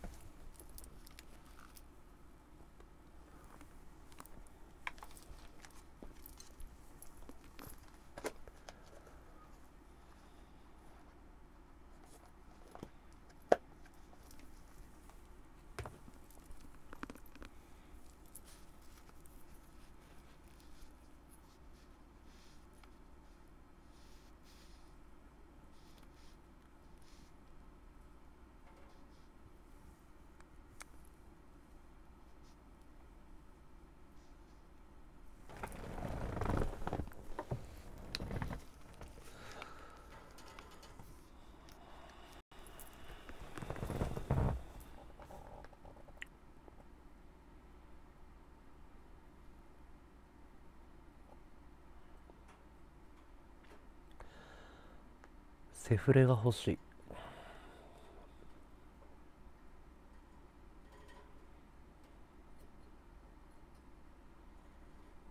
いやここにいる男全員欲しいだろうけど。ごめんね心の声が漏れたわ。そうだよね。男だったら全員そうだよね。セフレっていたことないんだよね。なんか彼女よりももしかしたら貴重な存在かもしれない。セフレって人生でいたことないから。セフレが欲しいね。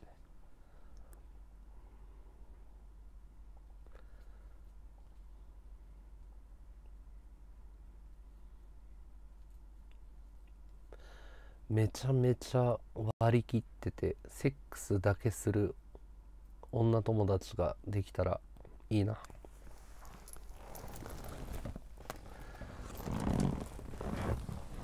究極究極だけどセフレってどうやって作るんだろう？誰かセフレがいたことあるリスナーさんいたら教えて。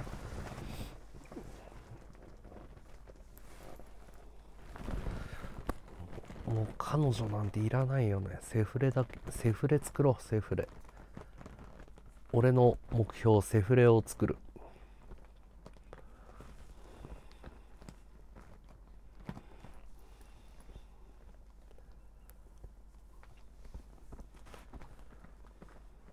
フレいたことあんの？教えて作り方。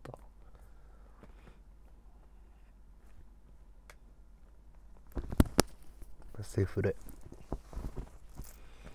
セフレが欲しい。いやネタでも何でもなくて本当にセフレが欲しいね。セックスだけする関係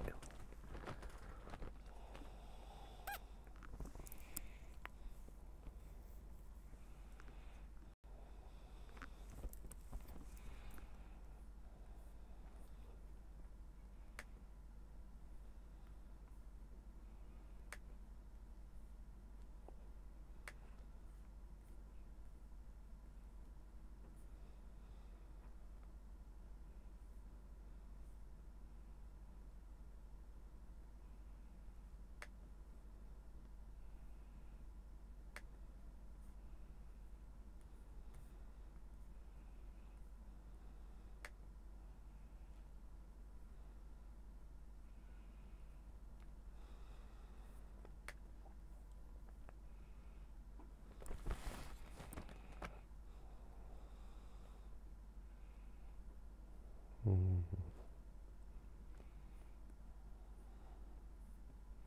そっか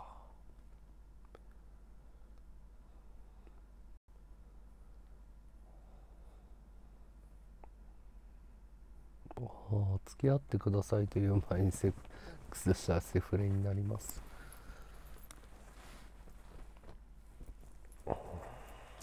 付き合ってくださいなんて言わないよ。さあ俺全員セフレだわ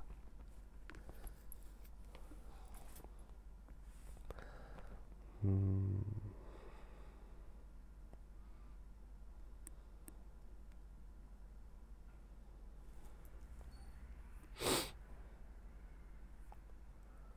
付き合うは契約なんだ。じゃあいいやそういうの。駆け引き嫌だから。気づいたらセックスしてたとかの方がいいね。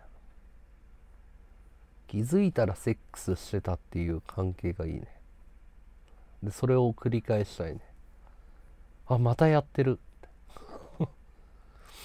気づいたらまたやってるっていう。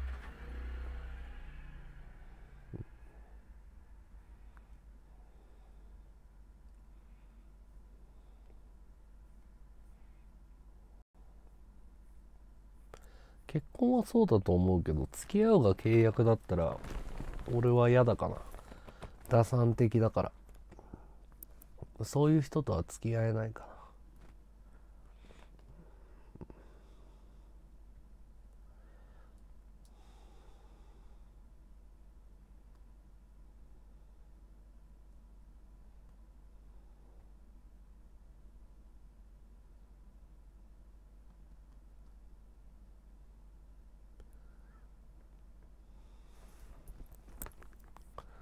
なんか好意を持ってくだ持ち続けてくださいねっていうのが俺はすでに甘えだと思ってるから。いや魅力がなくなったら魅力がないでしょっていう、魅力がある時は魅力があるでしょっていう。いやだからそれが嫌だってこと。浮気しないでじゃなくてあなたが魅力的で居続けないといけないわけだし俺だから別に浮気してもいいと思ってるもん。浮気した時点で付き合ってると思ってないから他人だと思ってるから。俺に興味のない人は俺は何だろう。興味がな逆に俺も興味がない人だから。俺のことが好きじゃなくなった時点で俺からするとどうでもいい人の一人だ、いややだやだやだそういうのはそういう言葉とか概念で契約をするっていう時点で頭が悪い行為だと思ってるからそのそれこそさっき言った官能的な世界と対比にあるものじゃん。要は理性でコントロールしようとしてる時点でそのなんつうのかっこよくないよね。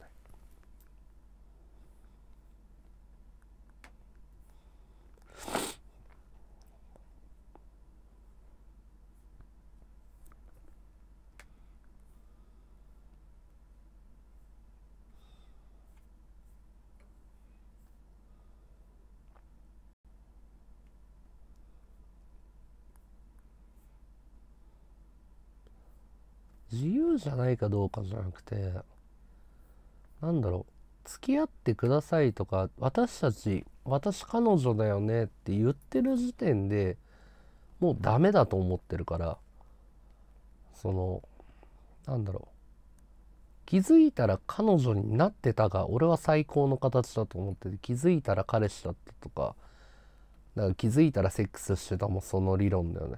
気づいたら一緒にいた。気づいたら手をつないでいた。気づいたら毎日一緒にいて気づいたらセックスしてて。気がついたら周りが彼女だっていうふうに言い始めたっていうのが本来の彼女であって。本人たちが確認し合う問題じゃないと思うけどね。いや楽とかいう問題じゃない。そういう頭の悪い話じゃないから。一緒にしないで。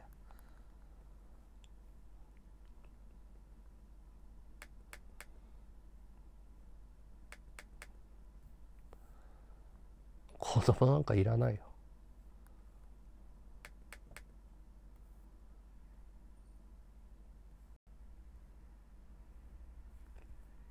いやいやうざいとかそういうレベルの低い話じゃないから。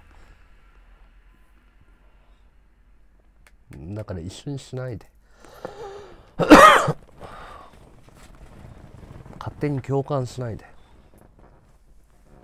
全然全然あなたとは別だから。困るあなたと一緒の考えにされたら。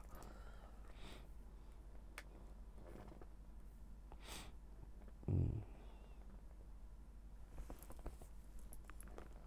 そういうレレベルの話してない俺は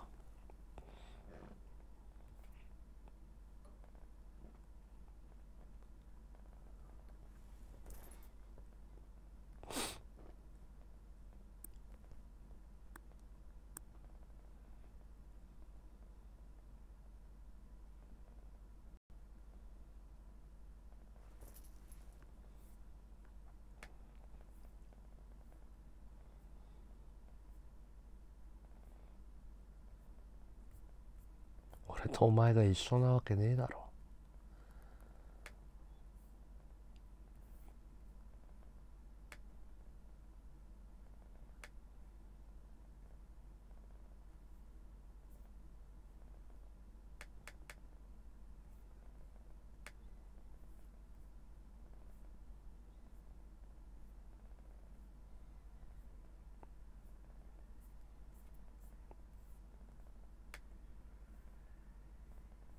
お前だよマウント取ってんのは。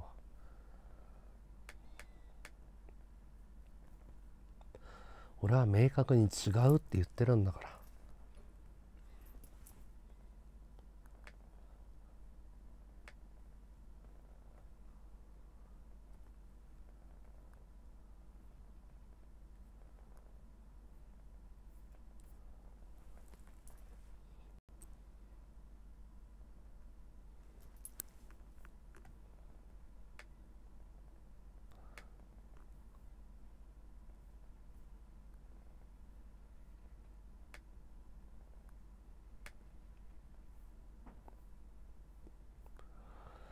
前ビートルズのジョン・レノンにさ歌がくっそ下手くそなさおじさんが「俺も音楽やってるんだよ」っつって「一緒だよ」って言われたらジョン・レノンは「一緒にすんな」って言うだろ。高いとか低いとか言ってないよ俺は。いいよ不愉快だから消えろよ。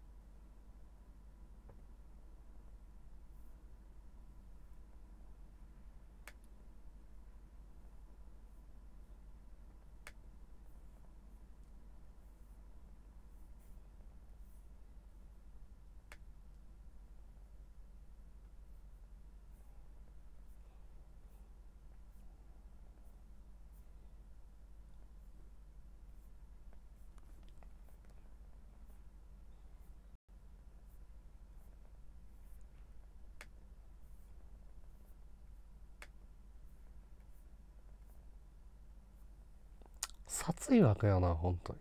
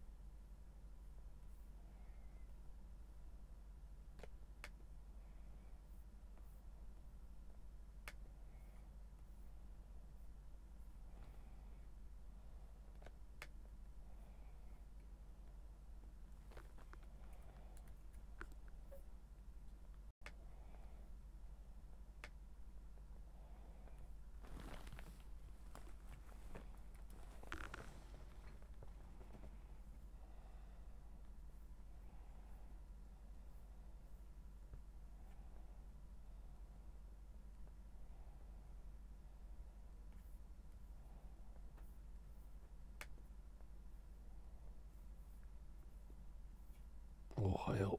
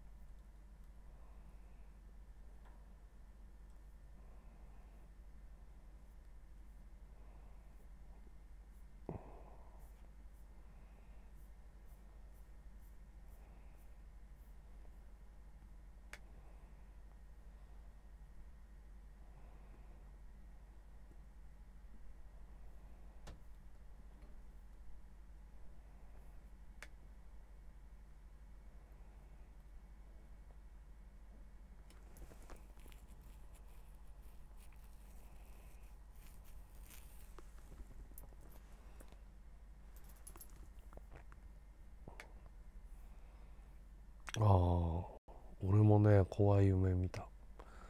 おはよう。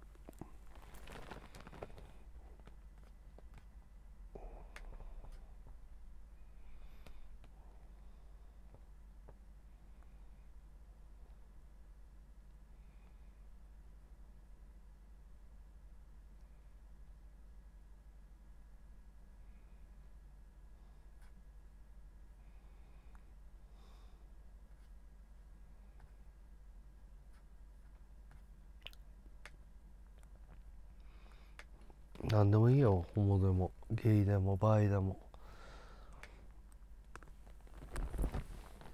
あなたがそう思うんならそれでいいよ。あなたがご自由に判断していいよ。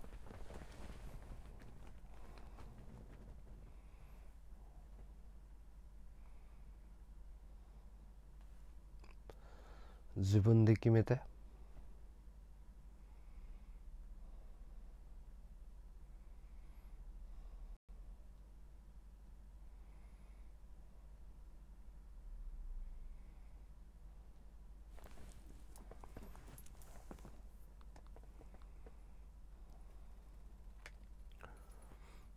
スのわからない人に何言っても無駄だっていうのは俺はよく分かってるから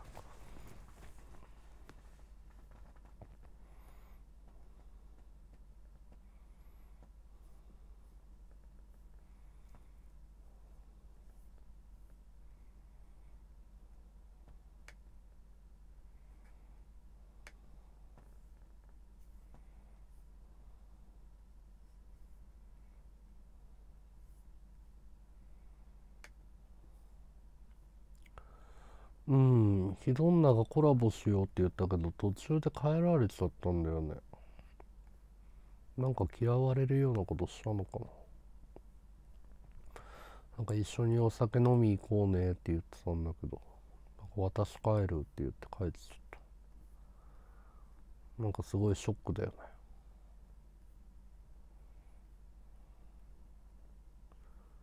なんかした記憶ないんだけど。傷つくよね。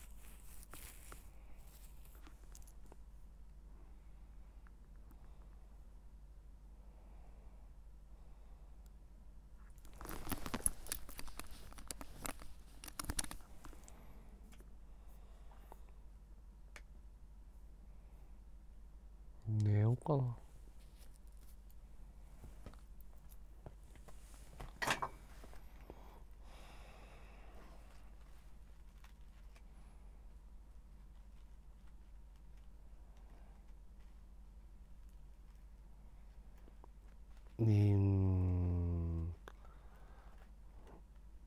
いやーなんかセックスがしたい。何も考えずにセックスをして何も考えずに何も考えないでセックスをして何も考えないで朝起きたい。一回脳の動きを止めたいただセックスただセックスだけにすごいいい女とセックスをしたい。何も考えないで。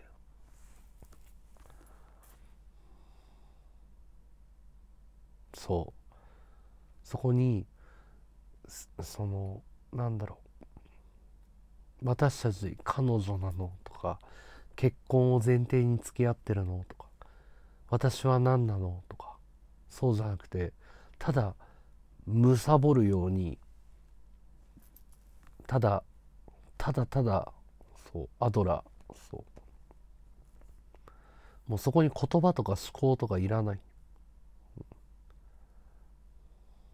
そういうのめんどくさい。そうじゃない。もうそういうのに疲れ果てたもん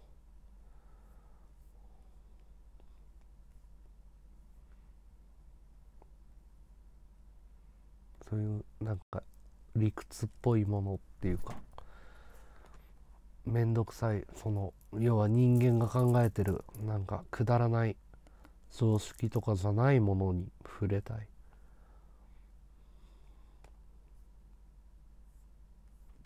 うん。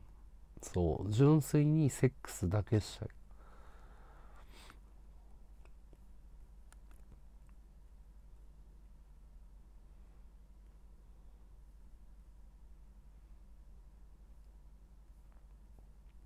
もうなんか全部リミッターみたいな理性というリミッターを全部解除して。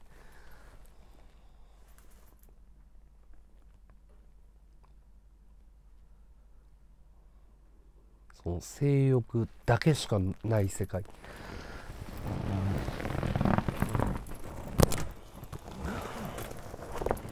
わかるかな？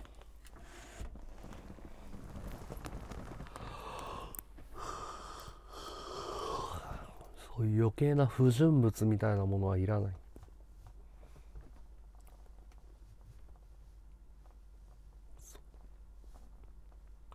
猫がじゃれ合ってるのと一緒ね。そういう人間的なものは一切いらなくて。ぐっすり寝たいの。何も考えないで。ぐっすり寝たい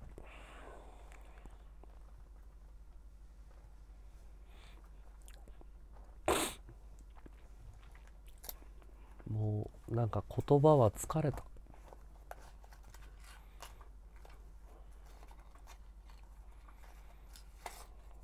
理性は疲れる。もういらないそういうの。平穏平穏っていうのかな。こう癒されたい。さっきから言ってるけど。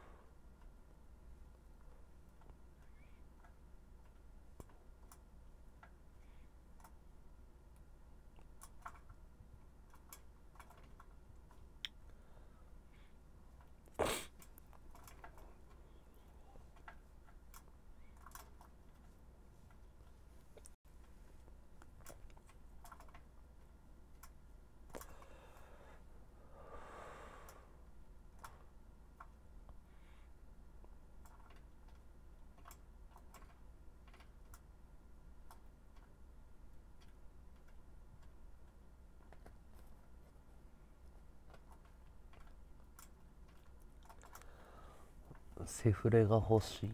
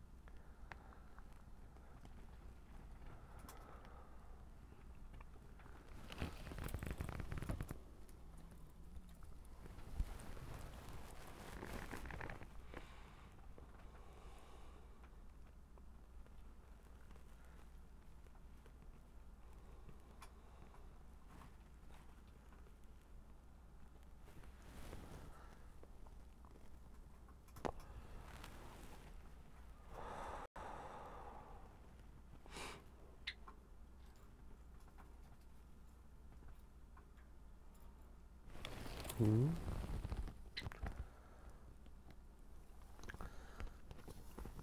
現れますよ。現れないよ。わかんない。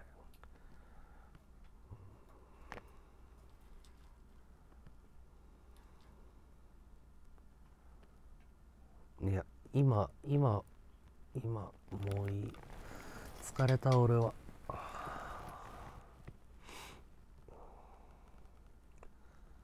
少し休みたいな。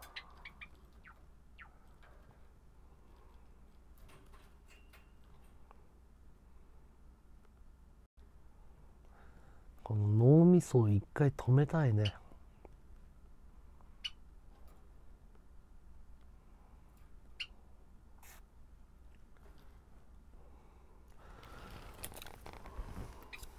脳みそを一回止めたい。ずっと動いてるからね。高速で。いろんな感情が。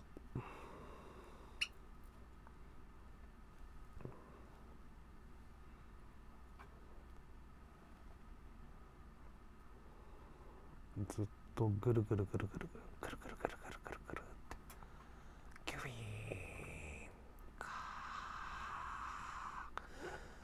コ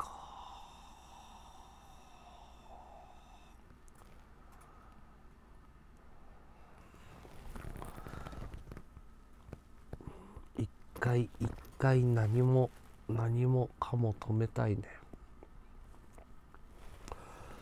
無になりたい1回